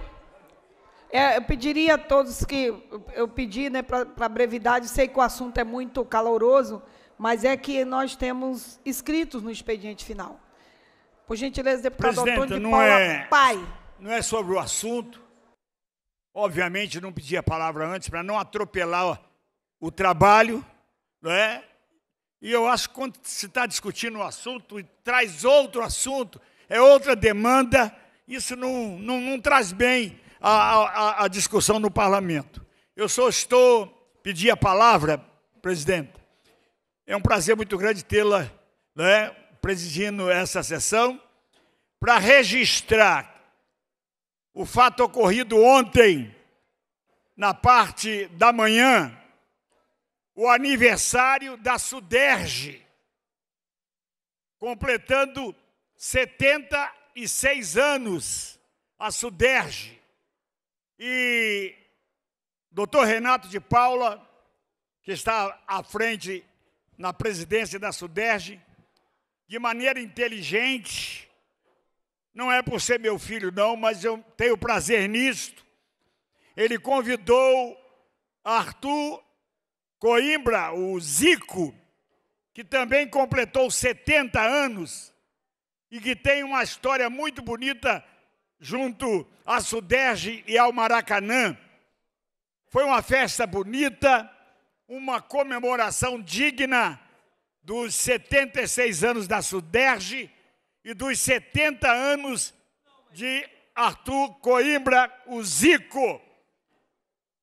O governador Cláudio Castro esteve presente, várias autoridades, deputados, secretários. Então, essa minha fala é para parabenizar a Suderge, ao governador do estado, ao à Secretaria de Esporte e ao doutor Renato de Paula pelo belíssimo, pela belíssima homenagem feita à Suderge, que completou ontem 76 anos e participou também comemorando os 70 anos do Galinho de Quintino. É esta a minha comunicação e parabéns à Sudeste mais uma vez. Obrigado, presidente. Nada mais havendo a tratar na ordem do dia, passa o expediente final com o primeiro orador inscrito, o deputado Luiz Paulo.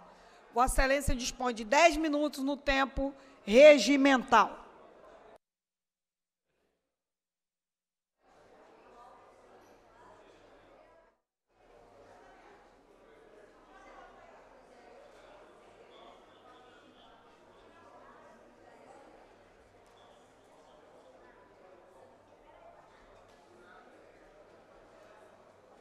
Senhora presidente, opa, desculpe.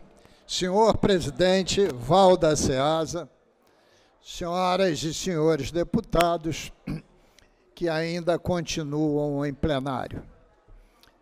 Deputada Célia Jordão, deputada Tia Ju, deputado Yuri, deputada Renata, deputado Otone Pai.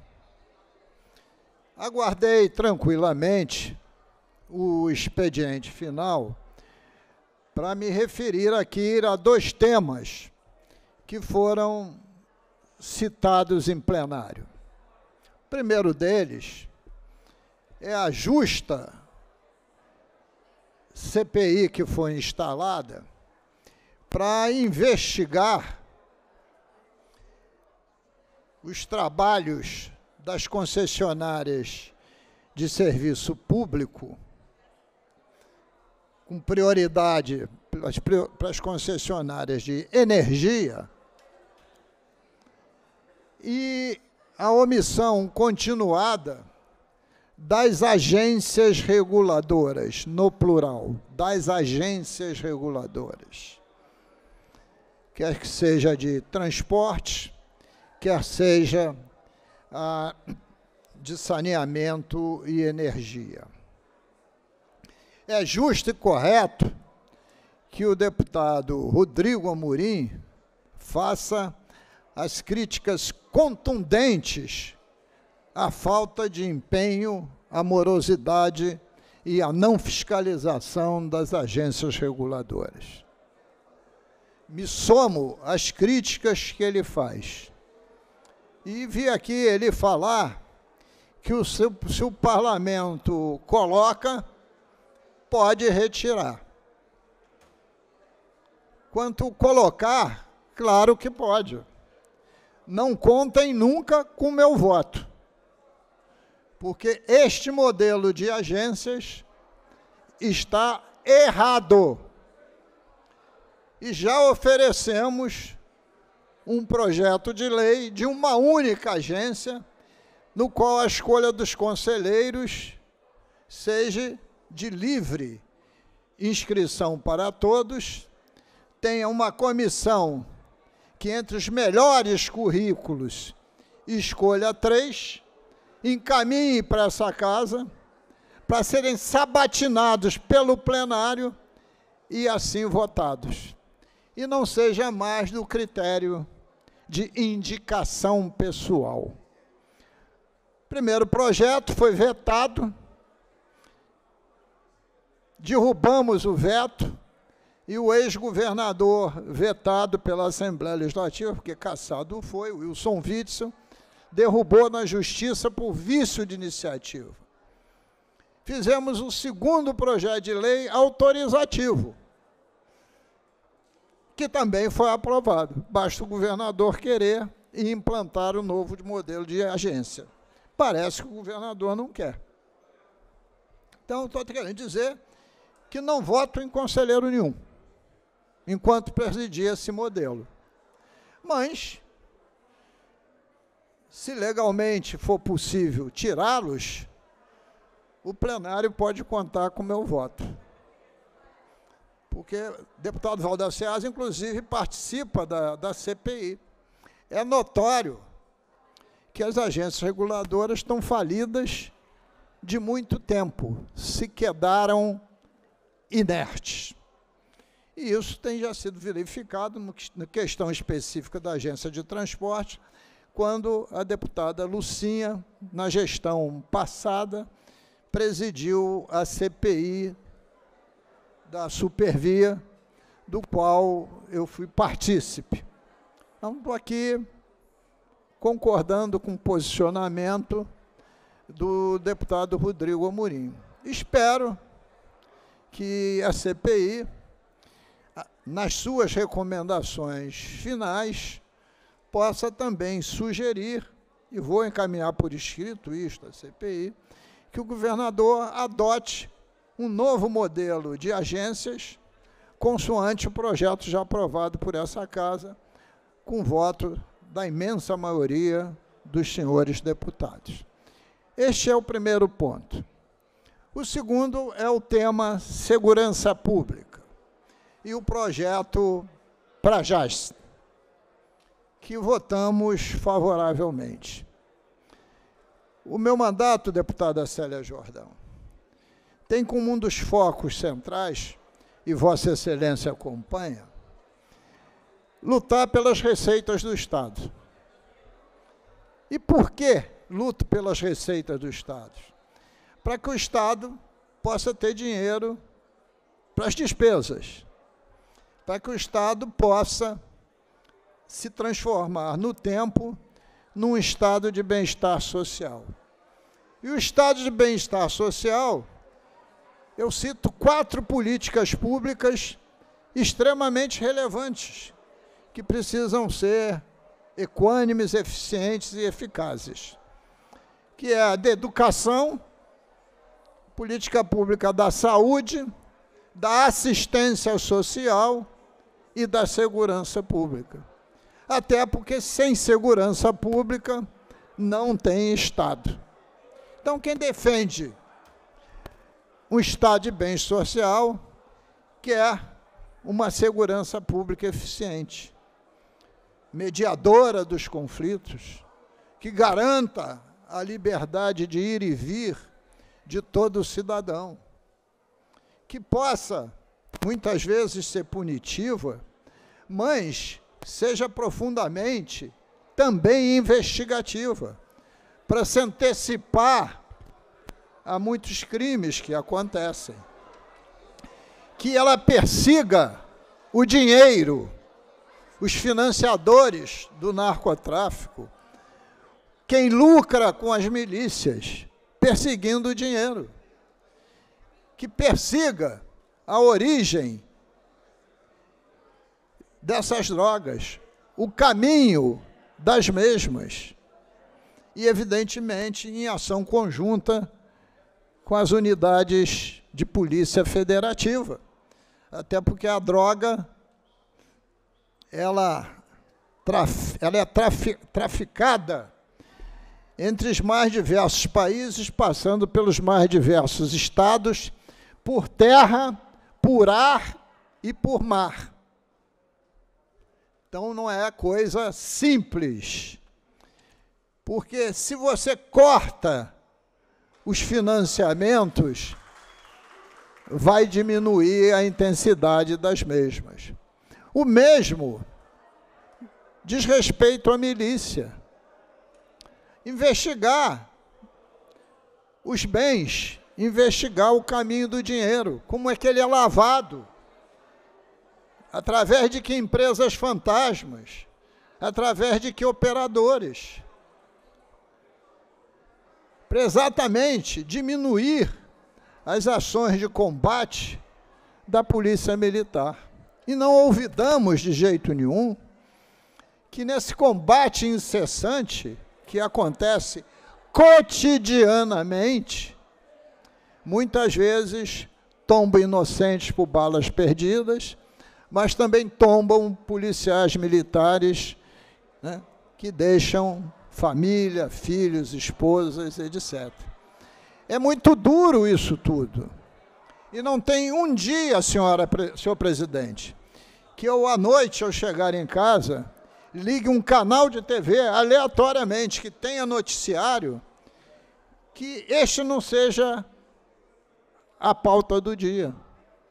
É inexorável tem um, um avanço sistêmico né, dessa luta entre narco, milícia, muitas vezes a junção da milícia com narco e os confrontos com a polícia militar e as pessoas que, em tese, não têm nada a ver com isso, que também sofrem com o problema. Então, isso é uma prioridade do Estado. E é claro que o parlamento quer uma polícia que seja respeitada pelo cidadão, que cada vez morram menos policiais, que cada vez eles possam ter a melhor e mais justa remuneração, que possam ter assistência jurídica, porque são defensores do Estado. E de que Estado? do Estado democrático de direito. Né? Então, não há controvérsias quanto a isso.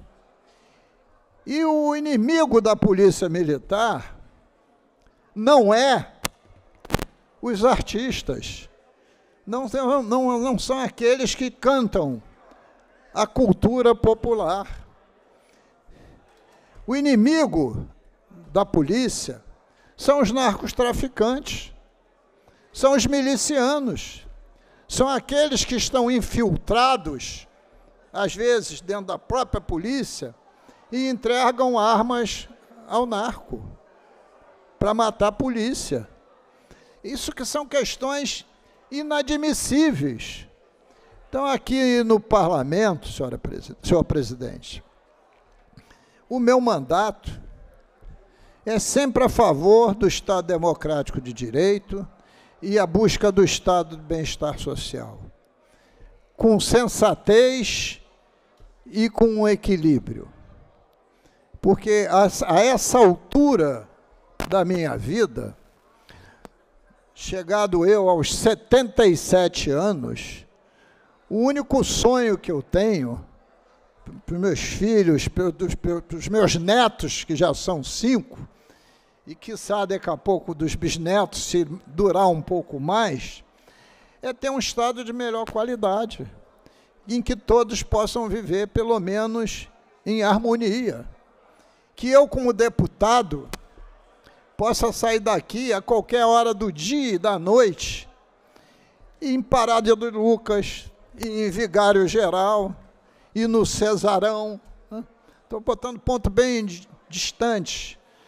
E na Vila Cruzeiro, em qualquer lugar, de dia ou de noite. E podemos fazer isso? Não. Não só eu, como ninguém. Se a gente anda de carro nas ruas da região metropolitana, depois de 8 horas da noite, eu, eu, eu desafio alguém a ir a Nova Iguaçu e voltar via, pela Via Light, o deputado conhece bem a Via Light, que liga o centro Nova Iguaçu a Pavuna, a estrada Rio do Pau, 9 horas da noite, não tem viva, não tem viva alma, não tem nenhum carro transitando na própria Rio do Pau duplicada. A Brasil, a própria na Brasil já está vazia. As pessoas estão parando de circular. E estão parando por quê? Pelo medo. Pelo medo. Senhor deputado Yuri, que mora em Petrópolis, pacífico município, hoje em dia nem tanto, eu que já tive casa em Pedro do Rio, eu já saía daqui, no volante, 10, 11 horas da noite, pegava 0,40 para ir lá para Pedro do Rio. Será que eu consigo fazer isso hoje? Tenho minhas dúvidas. Tenho minhas dúvidas. Vencer toda a 040, cortando Caxias, cortando nossa querida Xerém, terra do nosso Rosenberg Reis, para depois subir a serra e chegar em Petrópolis. Isso, inclusive, prejudicou muito Petrópolis, porque também entre diversos polos, principalmente Itaipava, mas não só, é um polo gastronômico, que perdeu muita demanda função dessa retenção das viagens em período noturno, principalmente às sextas-feiras. Então, isso também é altamente prejudicial para a nossa economia. E quando prejudica a nossa economia, prejudica as nossas receitas. Não é à toa, e não só por causa disso, que a previsão da LDO para o ano que vem são as despesas serem maior, maiores que as receitas, na ordem de 3,6 bilhões de reais. Muito obrigado, senhor presidente. Senhor presidente. Próximo orador inscrito é a nobre deputada Célia Jordão, que dispõe de 10 minutos.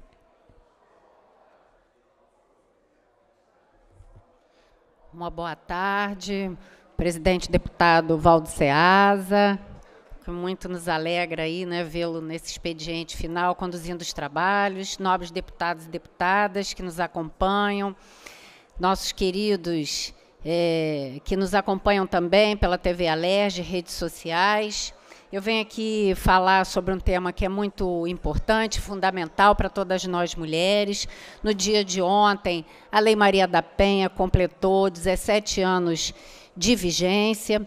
E aqui vale o destaque que fazemos na operacionalidade desta lei, todo ano em que ela completa é, a sua data de vigência, em função da, da, daquilo que é o seu objetivo maior, que é a proteção, a garantia de direitos daquelas mulheres que, anteriormente à sua entrada em vigor, não tinham um instrumento jurídico dedicado àquelas que sofrem violência doméstica no nosso estado do Rio de Janeiro e em todo o país. O estado do Rio de Janeiro vem computando índices alarmantes no que diz respeito à violência de gênero, à violência contra as mulheres.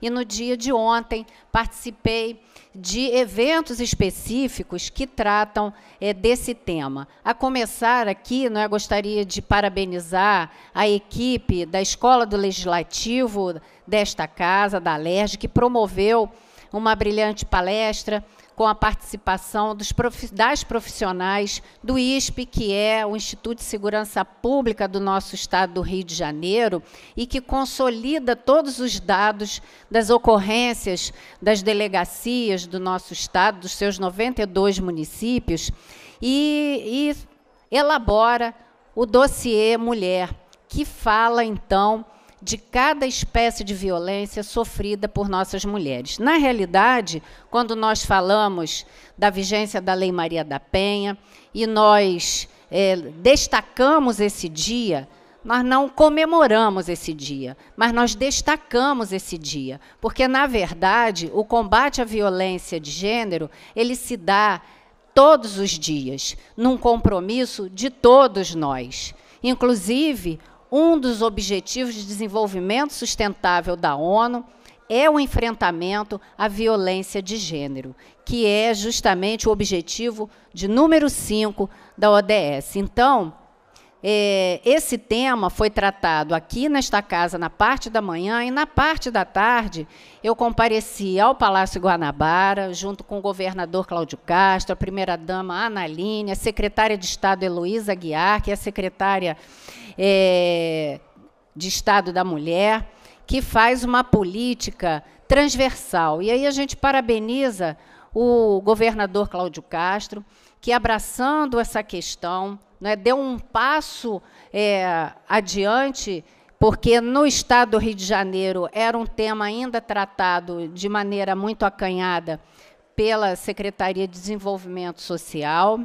e, criando esta nova secretaria nessa gestão, não é, a partir de 2023, à frente a sua secretária Luísa Guiar tem dado passos importantes. E ele deixou muito bem o destaque de que a questão do combate a violência contra a mulher não é apenas uma questão de segurança, e de fato não é, porque trata de políticas transversais e que perpassa pela saúde, pela educação, pela assistência social, pela segurança, pela formação profissional, e eu quero aqui também é, fazer esse agradecimento ao governador, que sancionou uma lei de minha autoria que faz a reserva do número de vagas é, dos cursos profissionalizantes nas FAETECs das, dos 92 municípios, das suas 92 unidades que constam em mais de 80 municípios, né, aqui corrigindo é, a minha fala, e que já está sendo operacionalizado e colocado à disposição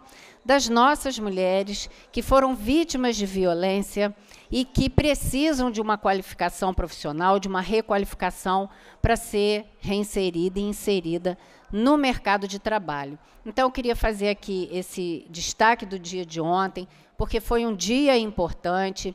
Também foi instalada uma DEAN em Campo Grande, a Zona Oeste, ele também tem altos índices de registro de violência de gênero, então era importante que lá fosse instalado. Encontrei com a delegada Marcela Ortiz, que está à direção é, do ISP, que é o Instituto de Segurança Pública do nosso Estado, e ela relatou não é, com muita alegria essa situação, mas que, na verdade, a gente é, festeja não é, a implantação de mais um equipamento, mas lamenta a necessidade de haver mais um equipamento por essa questão da ainda do alto índice de violência doméstica. De outro lado, a gente ressalta não é, o bom andamento de algumas políticas, mas de outra também não pode deixar de subir a tribuna, mesmo sendo base de governo, para puxar a orelha. Então, nesse final de semana, eu subi a Serra do Piloto, a RJ 149, que liga o município de Mangaratiba a Rio Claro. E o estado da RJ 149 é lamentável sofreu com as chuvas do ano passado e sequer as barreiras foram retiradas. Em vários trechos da RJ 149, a Serra do Piloto, que tem muitos trechos que, inclusive, são patrimônio histórico do nosso estado do Rio de Janeiro, ainda não sofreu a devida intervenção de obras do DER que está sob o guarda-chuva da Secretaria das Cidades. Da mesma forma, a RJ 155, que eu venho solicitando desde 2021, a sua reforma, porque também sofreu muito com a queda de barreiras, com as chuvas de 2022 e, e outras que a antecederam. Então, é importante fazer aqui novamente essa solicitação agora da tribuna, porque já fiz através de diversos ofícios, já o fiz pessoalmente com reunião com o presidente do DER, que já se passaram vários presidentes pelo DER, e nenhum deles resolveu essa questão. E isso é muito fundamental. Inclusive, quando nós tivemos a gravidade das chuvas que deixou o município de Angra dos Reis isolado pela RJ 155 e também a Rio Santos, como Paraty, Mangaratiba, Rio Claro, não é? Se não houvesse uma intervenção junto do governo federal, na época, o presidente Jair Bolsonaro entrando, inclusive com o Exército, para poder desobstruir as estradas e ajudar os municípios, seria difícil contar apenas com a atuação do DER. Então, fica aqui o puxão de orelha, porque, ao mesmo tempo não é, em que se é parceiro, quem é parceiro quer o bem. E quem quer o bem não apenas passa a mão na sua cabeça. Então, a gente está aqui falando, porque eu venho cobrando desde 2021 uma intervenção do Estado na RJ 155 e na 149, que eu tive a oportunidade de passar nesse sábado e vi a vergonha que está essa RJ. Então, fica aqui o meu recado ao secretário Uruan, para que ele atue junto com o presidente do DER e acelere o processo, porque a gente já cansou de mandar ofício cobrando o andamento da licitação e está sempre é, fazendo estudo técnico. Então, quem sabe agora esse estudo não acelere né, as suas, com as suas perninhas e ande mais rápido.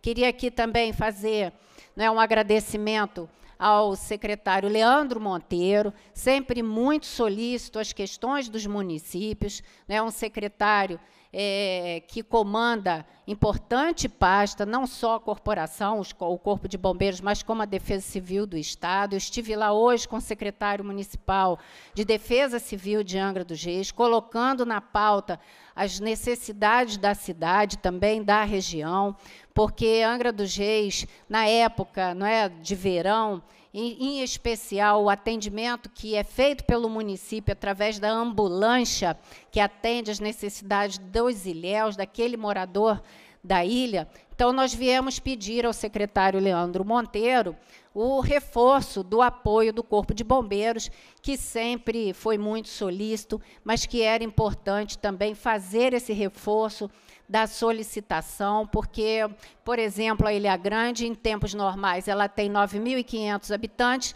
mas em tempos de alta temporada, isso aí triplica, vai para 30 mil pessoas circulando. Então, são muitos atendimentos de emergência, acidentes, enfim, e que precisa de uma união de esforços e a gente aqui, então, agradece essa, toda essa atenção do secretário Leandro Monteiro para a nossa equipe da Prefeitura de Angra dos Reis, com o secretário Fábio Júnior e os técnicos que o acompanharam. Então, hoje é, eram essas as minhas palavras, muito rapidamente, porque também tenho pessoas me aguardando no gabinete para uma reunião com a equipe da Anatel, e, e, isso é muito importante aqui fazer esse destaque, porque esta casa aprovou um projeto de lei que foi de minha autoria, hoje lei em vigor, que prevê a instalação em, em todo o estado do Rio de Janeiro, é, deputado Yuri, deputada Renata, do Cell Broadcast. Isso é um importante instrumento que vai ser colocado à disposição da nossa população, a exemplo do que já funciona em todos os países. E é um sistema de alerta gratuito para a população, que não exige dessa população um cadastramento prévio. Não é Petrópolis, como Angra dos Reis, sofre muito essas questões é, da chuva e do perigo das áreas né, que são de risco, mas que hoje depende de uma mensagem de SMS, mas que só recebe quem é cadastrado. E o Cell, o Cell Broadcast é um instrumento tecnológico que não depende de uma boa área de cobertura de internet, né, não depende de um cadastramento prévio e é totalmente gratuito. Então, nós, isso já vem sendo é, posto também né, em execução, dentro de um planejamento que é da competência da Anatel, mas aqui nós saímos à frente dos outros estados, também regulamentando essa matéria. Então, eu vou aqui né, deixar a tribuna, porque tem essa equipe da Anatel também me aguardando, e isso é um dos temas, porque, inclusive, a agência concedeu aos, aos operadores de telefonia celular, até o final desse ano, deputada Renata, e é importante que todos os deputados fiquem atentos a isso, a instalação, a entrega desse serviço a toda a população. Deu prazo de até dezembro de 2023.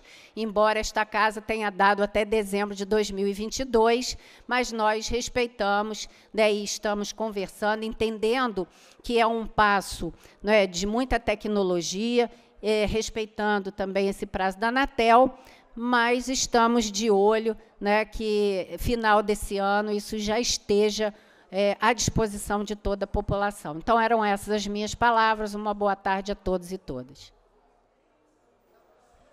A próxima oradora inscrito é a nobre deputada Renata Souza, que dispõe de nove minutos.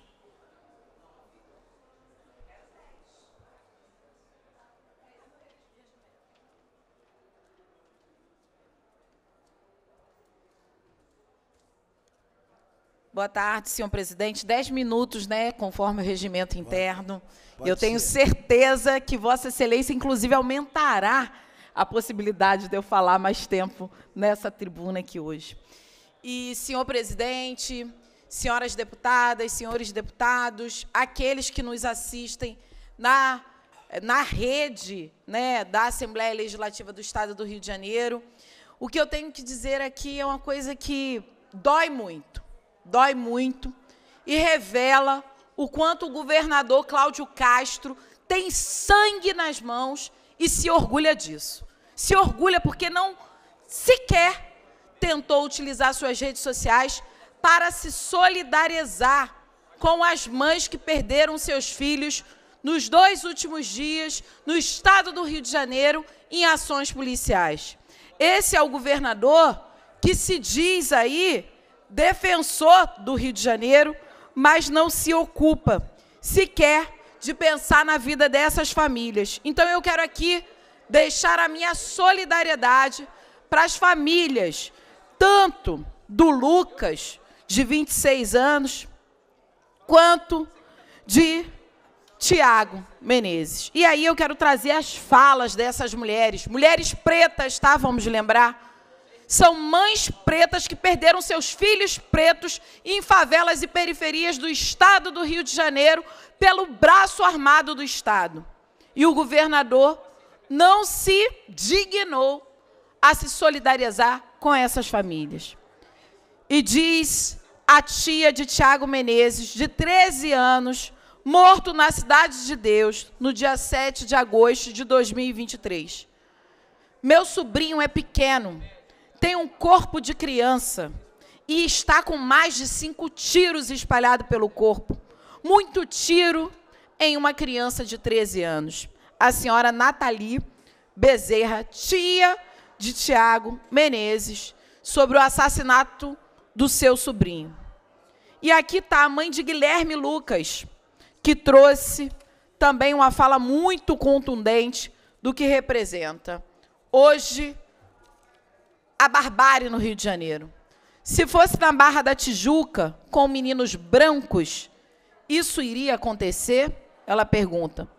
Eles, confundi eles confundiriam um celular com uma pistola? Não, não iriam confundir. Mãe de Guilherme Lucas, de 26 anos, morto após ser baleado pela polícia na saída de um baile funk do Morro do Santo Amaro quando ele comemorava o seu aniversário. Outras falas de mães, mulheres negras, pobres, também são trazidas à tona. Como não lembrar da fala de Jaqueline Lopes, mãe de Kathleen Romeu, jovem de 24 anos, grávida, morta em uma ação policial. E Jaqueline diz: quem foi recebida a tiros foi a minha filha. E também lembrar aqui da mãe do João Pedro, a Rafaela Coutinho. E ela dizia: se fosse na Zona Sul, não entrariam atirando. Lembrar também da fala da mãe de Marcos Vinícius, Bruna da Silva. E ela relembra, relembra as últimas palavras do seu filho, Marcos Vinícius. Ele não viu que eu estava com roupa de escola, mãe. E Bruna da Silva exibe uma camisa de escola ensanguentada com uma perfuração de tiro de fuzil.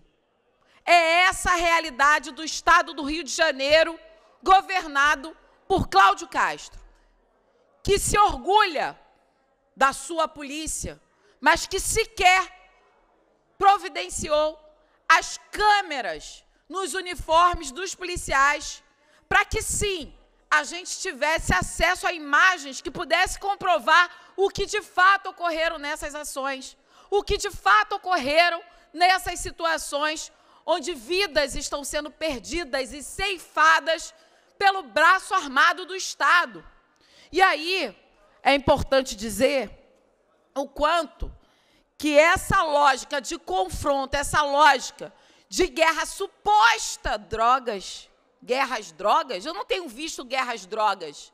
Eu tenho visto guerra aos pobres pretos favelados, crianças. É fundamental que a gente possa fazer esse debate. E quando nós, aqui na última semana, falávamos da naturalização das chacinas que são organizadas no estado do Rio de Janeiro, pelo braço armado do Estado, e que, se, portanto, a gente naturalizasse essas chacinas, estaríamos naturalizando também a morte de crianças, também a morte daqueles e daquelas que pode ser, ser o seu familiar. Porque ninguém está livre dessa lógica bárbara de segurança pública que não garante segurança a ninguém. Ninguém se sentiu mais seguro depois da chacina que ocorreu no complexo do Alemão. Ninguém se sentiu mais seguro. E aí, lembrar de novo, em maio do ano passado, foram 25 pessoas mortas também no mesmo lugar. No Complexo da Penha, na Vila Cruzeiro, foram 25 mortos. Ninguém se sentiu mais seguro com essa lógica de política de morte, de necropolítica, de aposta na barbárie, no ódio. Isso demonstra a incapacidade da política pública de segurança de assegurar o seu direito à vida. Porque você pode ser a próxima vítima. Vamos lembrar, se não for você, pode ser algum dos seus familiares, dos seus amigos, que vivem na favela e da periferia do Rio de Janeiro, porque um terço dessa população vive em favelas do Rio de Janeiro. Então é importante dizer, e quando nós não fazemos hierarquia sobre a dor, hierarquia sobre a barbárie. Dor é dor. Essas famílias estão enlutadas, estão devastadas, estraçalhadas pelo braço armado do governo Cláudio Castro. E ele sequer se solidarizou com, essa, com essas famílias. E aí, para termos ideia, no Diário Oficial de 12 de julho, encontramos a autorização de despesa referente à compra de 160 veículos blindados para a PM no valor de 30 milhões. Quase o dobro do valor destinado para inteligência e prevenção. E aí é importante lembrar que os dados apresentados do orçamento destinado para a inteligência na segurança pública até julho de 2023, a ponto que do total previsto, 17 milhões, ou seja, apenas 13 milhões, 13% do que foi empenhado para o programa de inteligência. Ou seja, a gente teve uma redução importante naquilo que seria o orçamento para a área de inteligência das polícias do Rio de Janeiro. Foram quase, foram cerca de 80% de recursos retirados no último orçamento. E, no entanto, a gente vê aqui o governo investindo na lógica de guerra, investindo para que os seus veículos blindados possam ter capacidade de matar mais gente. E aí, nessa lógica de, de guerra, ninguém sai vencedor. Ninguém sai vencedor nessa lógica sanguinária que o governador impõe no estado do Rio de Janeiro. É óbvio que cada um aqui pode ser a próxima vítima, inclusive o próprio policial. Porque governador põe todo mundo como bucha de canhão. Bucha de canhão. Não garante qualquer possibilidade de dignidade. Também para quem é agente da segurança pública e pretende fazer o seu trabalho corretamente. Está aqui os dados sobre a investigação. E orçamento, ele é muito evidente qual é e aonde está a prioridade desse governo. 30 milhões para novos carros blindados, para a efetivação de uma política de morte, mas apenas 17 milhões para inteligência, informação, para prevenção. Ou seja, há uma aposta no confronto.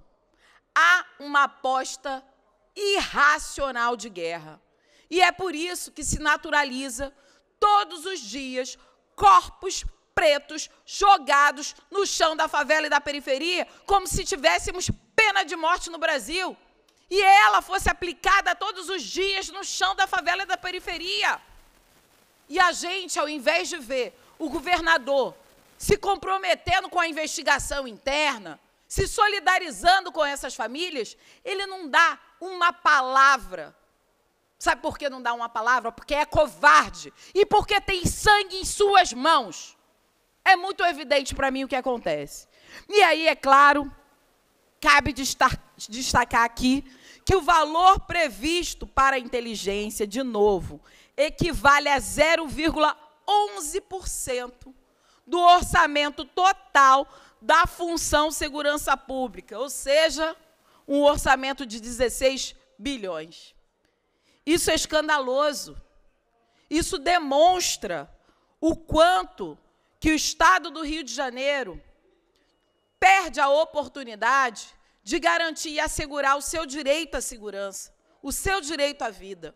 Então, nesse sentido, é central que a gente possa pensar em políticas, políticas públicas de segurança que assegurem o direito à vida. Mas, mais que isso, que respeite a Constituição brasileira, que respeite as nossas leis, porque aqueles que deveriam cumprir com as leis são os primeiros a enfrentar e acabar e a rasgar com a Constituição brasileira. São os primeiros a prevaricarem nas suas ações. E aí, para garantirmos a continuidade de serviços públicos que façam sentido para a superação dessa lógica de violência, de insegurança pública, é preciso investimento em educação e saúde, mas temos os professores mais mal pagos do Brasil. E o governador não quer pagar o piso nacional para os nossos professores. Na educação é igual, não paga o piso nacional para os nossos enfermeiros e enfermeiras. É esse mesmo governador que estipulou no orçamento 16 bilhões e que só desse valor só utilizou para inteligência 0,11%. Ou seja, a segurança pública do Estado do Rio de Janeiro é uma máquina de matar e não de assegurar o direito à vida. E aí, eu vou perguntar aqui: quem é que deita com a sua cabeça confortável, sabendo que tem famílias chorando nesse momento a perda dos seus entes queridos por, pelo braço armado do Estado, por aqueles que deveriam proteger? Quem dorme tranquilo essa noite é quem organizou a matança como estratégia de manutenção do seu poder político no estado do Rio de Janeiro. E o nome dessa pessoa é Cláudio Castro. O nome dessa pessoa, da necropolítica, da política de morte no estado do Rio de Janeiro, é governador Cláudio Castro. E aqui fica de novo a minha solidariedade a essas famílias. Vocês não estão sozinhos.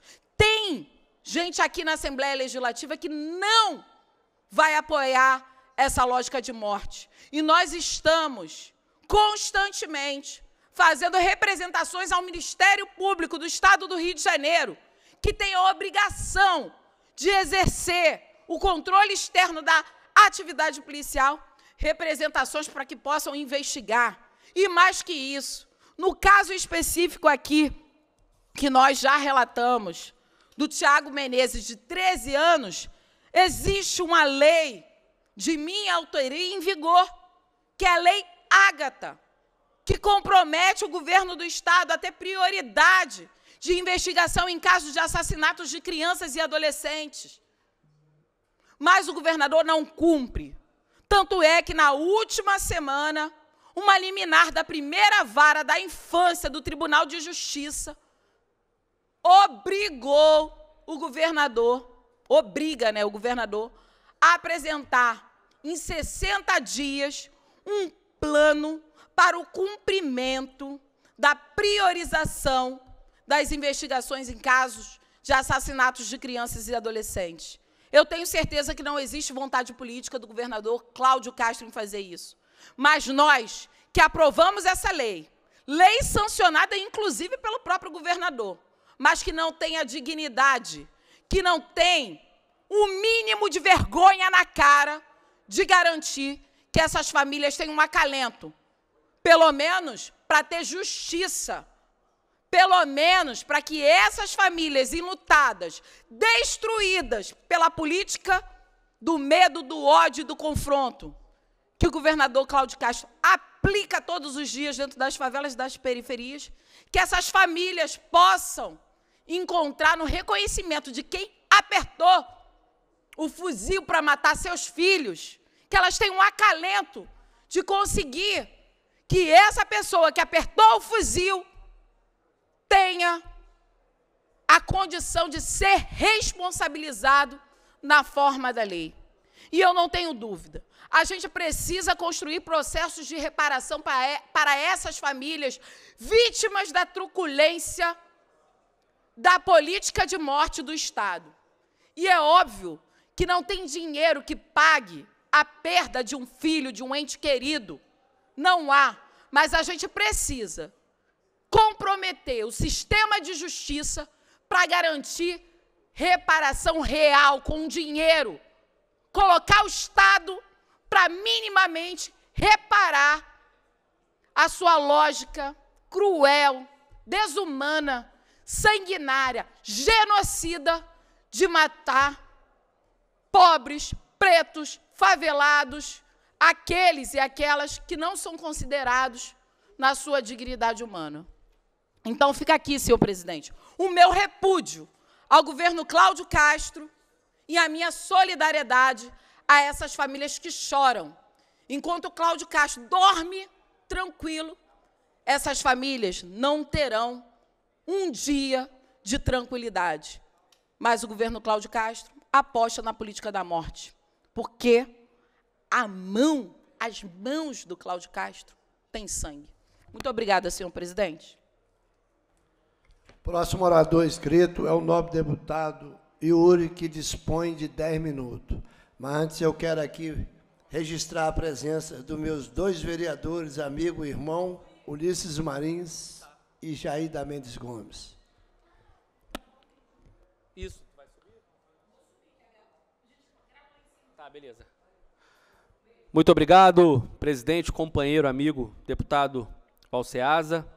Cumprimentar os nossos parlamentares, fazem esse trabalho fundamental nos municípios do estado do Rio de Janeiro. Presidente, o quadro do estado do Rio de Janeiro é muito triste. Nós vivemos um momento de insegurança pública, um momento de insegurança econômica, um momento de insegurança política e também um momento grave de insegurança alimentar. Não é à toa que, infelizmente, por mais uma vez, o governador Cláudio Castro não cumpriu com a sua palavra, não cumpriu com a lei e deixa dezenas de milhares de famílias sem o Super RJ. O programa Super RJ ainda é o único programa de transferência de renda do Estado do Rio de Janeiro. Transferência de renda quer dizer garantir dinheiro para quem precisa comer. Transferência de renda quer dizer apoiar o desenvolvimento local nos bairros e comunidades da nossa cidade. Transferência de renda quer dizer colocar o pobre no orçamento, já que o governo do estado não cumpre com as suas obrigações. Na hora de ir para a rua pedir voto, falou que o Super RJ, que foi criado nessa casa, era um modelo que iria continuar. Era um sucesso que, na sua posse enquanto governador, no Palácio Tiradentes, apontou que seria uma política a ser cumprida até o final do ano. Perdão. Como a lei anterior dizia. Mas a palavra do Cláudio Castro está valendo pouco. Está valendo nada está sendo conhecido pelos cantos do estado do Rio de Janeiro como o caloteiro que é. Porque deu calote no piso do magistério, está aí um monte de professor que não recebeu o piso, deu calote na GRAM, na gratificação do risco de atividade militar, aos veteranos e veteranas da Polícia e dos Bombeiros Militares do Estado do Rio de Janeiro, deu calote nas obras do Pacto RJ, porque 70% das quase 900 obras prometidas estão suspensas ou paradas. Tem lugar aí que só tem a pedra fundamental prometida na época de eleição junto dos aliados locais. E agora dá calote no Super RJ. E aí eu falo para as famílias que foram cortadas covardemente, que foram cortadas apesar do esforço dessa casa de ter aprovado uma lei que combateu a covardia do governador, nós perdemos e não conseguimos continuar com o Supera. Mas os deputados como um todo garantiram ao menos que ele pagasse ou deveria pagar o que deve, que eram os meses de maio e junho, e também mais dois meses para famílias minimamente se organizarem, que eram os meses de julho e agosto. Mas ele foi e cortou dezenas de milhares de famílias. E aí eu lembro, presidente, que alguns meses atrás, o Tribunal de Contas do Estado apontou que tinha fraude. Tinha gente com a aeronave recebendo o Super RJ. Tinha presidiário re recebendo o Super RJ. Tinha agente público recebendo o Super RJ. E ao invés de cortar essas pessoas lá atrás, ele cortou o povo pobre. Ele cortou quem precisa do Bolsa Família. Ele cortou quem foi vítima da maior tragédia na minha cidade. Na hora de subir voto lá, com um bando de apoiadores que tem em Petrópolis, foi na cara dura. Na hora de se aproveitar da tragédia, político-eleitoralmente, não teve vergonha, botou fake news na cidade, atrapalhou o governo municipal, atrapalhou a, a gente que era vereador, eu era, eu era secretário da Câmara, eu era presidente da Comissão de Direitos Humanos. Nunca quis fazer um convênio com Petrópolis. E aí, perto da eleição, eram milhares de famílias recebendo o Super RJ a eleição passou, foi caindo, caindo, caindo, caindo. De 33 mil cartões entregues, muito menos do que mil receberam a última parcela do Super RJ. Porque eu não posso dizer os números oficiais, porque não existe transparência. Não existe transparência, a lista do site não bate com a realidade. Por isso que eu e a deputada Renata Souza entramos com uma ação popular para obrigar que o governador Cláudio Castro cumpra a lei para obrigar que ele cumpra com os fundamentos do programa Super RJ, que é ajudar quem mais precisa. É inadmissível, no quadro que vive o Estado do Rio de Janeiro hoje, a gente tem um governador que se esconde, a gente tem um governador que mente, a gente tem um governador que dá calote, mas a máscara está caindo. E no início aqui, quando poucos deputados acusavam os problemas do governo Cláudio Castro, a gente percebe que as coisas foram mudando e hoje muitos deputados percebem o quão desorganizado o quão não cumpridor de promessas é o governo Cláudio Castro. E aí nós da oposição vamos seguir firmes, em respeito aos deputados de todas as alas ideológicas, em respeito aos deputados que são oposição à situação, porque o parlamento permite isso. É uma instituição que tem esse tipo de espaço e esse tipo de divergência. Mas nós não vamos permitir que Cláudio Castro termine de acabar com o Estado. Porque parece que o projeto é esse. O projeto começou lá atrás, com uma série de governadores sendo afastados, outros presos. Chega agora com esse governo que parece que veio para acabar de vez com o futuro do povo fluminense, com o futuro de todos nós que nascemos nas cidades do estado do Rio de Janeiro. Não é uma luta fácil, mas famílias do Supera podem ter certeza que a gente não vai recuar. Porque eu confio na política representativa, eu confio na participação popular, eu confio na maioria dos deputados dessa casa, que assim como tiveram a responsabilidade de não permitir o fim do Super RJ como o governador queria, vão estar junto da gente para que ele pague o que deve. As pessoas precisam receber. Por fim, presidente, a gente perde até a voz, porque é muito triste ouvir os áudios que a gente escuta nos grupos de WhatsApp do Supera. Pessoa querendo na, na padaria, pessoa querendo ir no supermercado, achando que vai cair, o aplicativo é uma bagunça. Vou investigar esse contrato para ver quanto essas empresas recebem, para aquela bagunça que aquele aplicativo aquele atendimento que não explica nada para ninguém. E as pessoas ali na expectativa, vendo se vai cair ou não vai cair, porque precisam daquilo. O senhor tem um trabalho popular muito forte, sabe do que, que eu estou falando. Sabe do que, que eu estou falando. Mas aí, para encerrar, dizer que no sábado à noite, que a gente trabalha todos os dias, estive no conjunto habitacional Rayane, na minha cidade de Petrópolis, lá na rua Ceará, no bairro Espírito Santo do Quitandinha. E ali percebi mais uma promessa não cumprida. Foi anunciado pelos apoiadores locais do governador Cláudio Castro que aquele conjunto habitacional seria reformado. Fizeram a licitação, tem lá a empresa, pelo menos citada no site do Pacto RJ, nos processos, e que essa reforma custaria 2 milhões e 300 mil reais queriam trocar 174 caixas d'água, porque hoje tem caixa d'água de amianto lá ainda. Queriam reformar os blocos. Mas o engraçado disso, o engraçado trágico, porque de engraçado de verdade não tem nada, é que quem foi anunciar foi o secretário de governo Bernardo Rossi, que há cinco anos atrás, enquanto era prefeito da minha cidade, tentou remover as famílias de lá. E eu, sem mandato, entrei no processo junto das famílias, junto do Centro de Defesa dos Direitos Humanos e nós conseguimos reverter. A prefeitura queria tirar as pessoas de lá e ainda multar. Chegou ano passado, perto da eleição de deputado, eu candidato, ele também, foram lá prometer que iriam fazer a reforma. Um ano se passou e não tem um prego lá. Não tem um container. O que tem são caixas d'água inadequadas, são famílias que precisam da reforma para garantir a sua dignidade. E são diversos problemas estruturais que nós estamos correndo atrás, apertando o governo do Estado, apertando a prefeitura, para sair do papel. Essa política velha, essa política feia, essa política do blá blá blá, essa política do vou fazer e depois não faz, tem que acabar.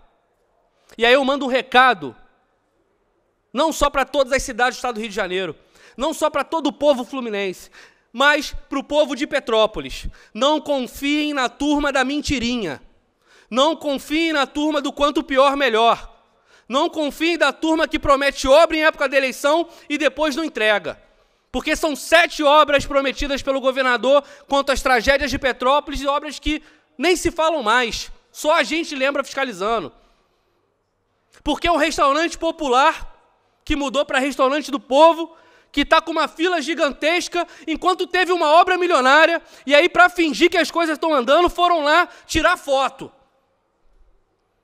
É o que isso? É uma resposta pela inoperância, pela covardia com as famílias do Supera? Então, presidente, eu vou falar de novo o que eu já falei várias vezes aqui.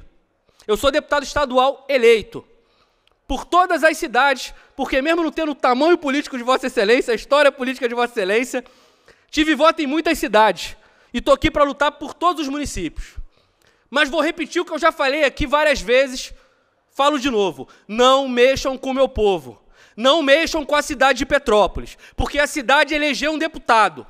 Um deputado que vai na rua, vai no bairro, que faz gabinete, em frente à rodoviária, que fiscaliza e que dá voz para a nossa cidade aqui. Pode ter o interesse que for por trás, pode ter a sanha que for nas eleições do ano que vem, pode ter gente querendo voltar ao poder para não fazer nada de novo como não fez. Eu vou estar firme. Não vai ter ameaça, não vai ter acordo, não vai ter coisa nenhuma que não deixe eu defender a cidade de Petrópolis, seja no aluguel social, no supera, nas obras ou em qualquer política pública. Nós não vamos recuar, sejam para os grupos políticos poderosos ou para as grandes máfias.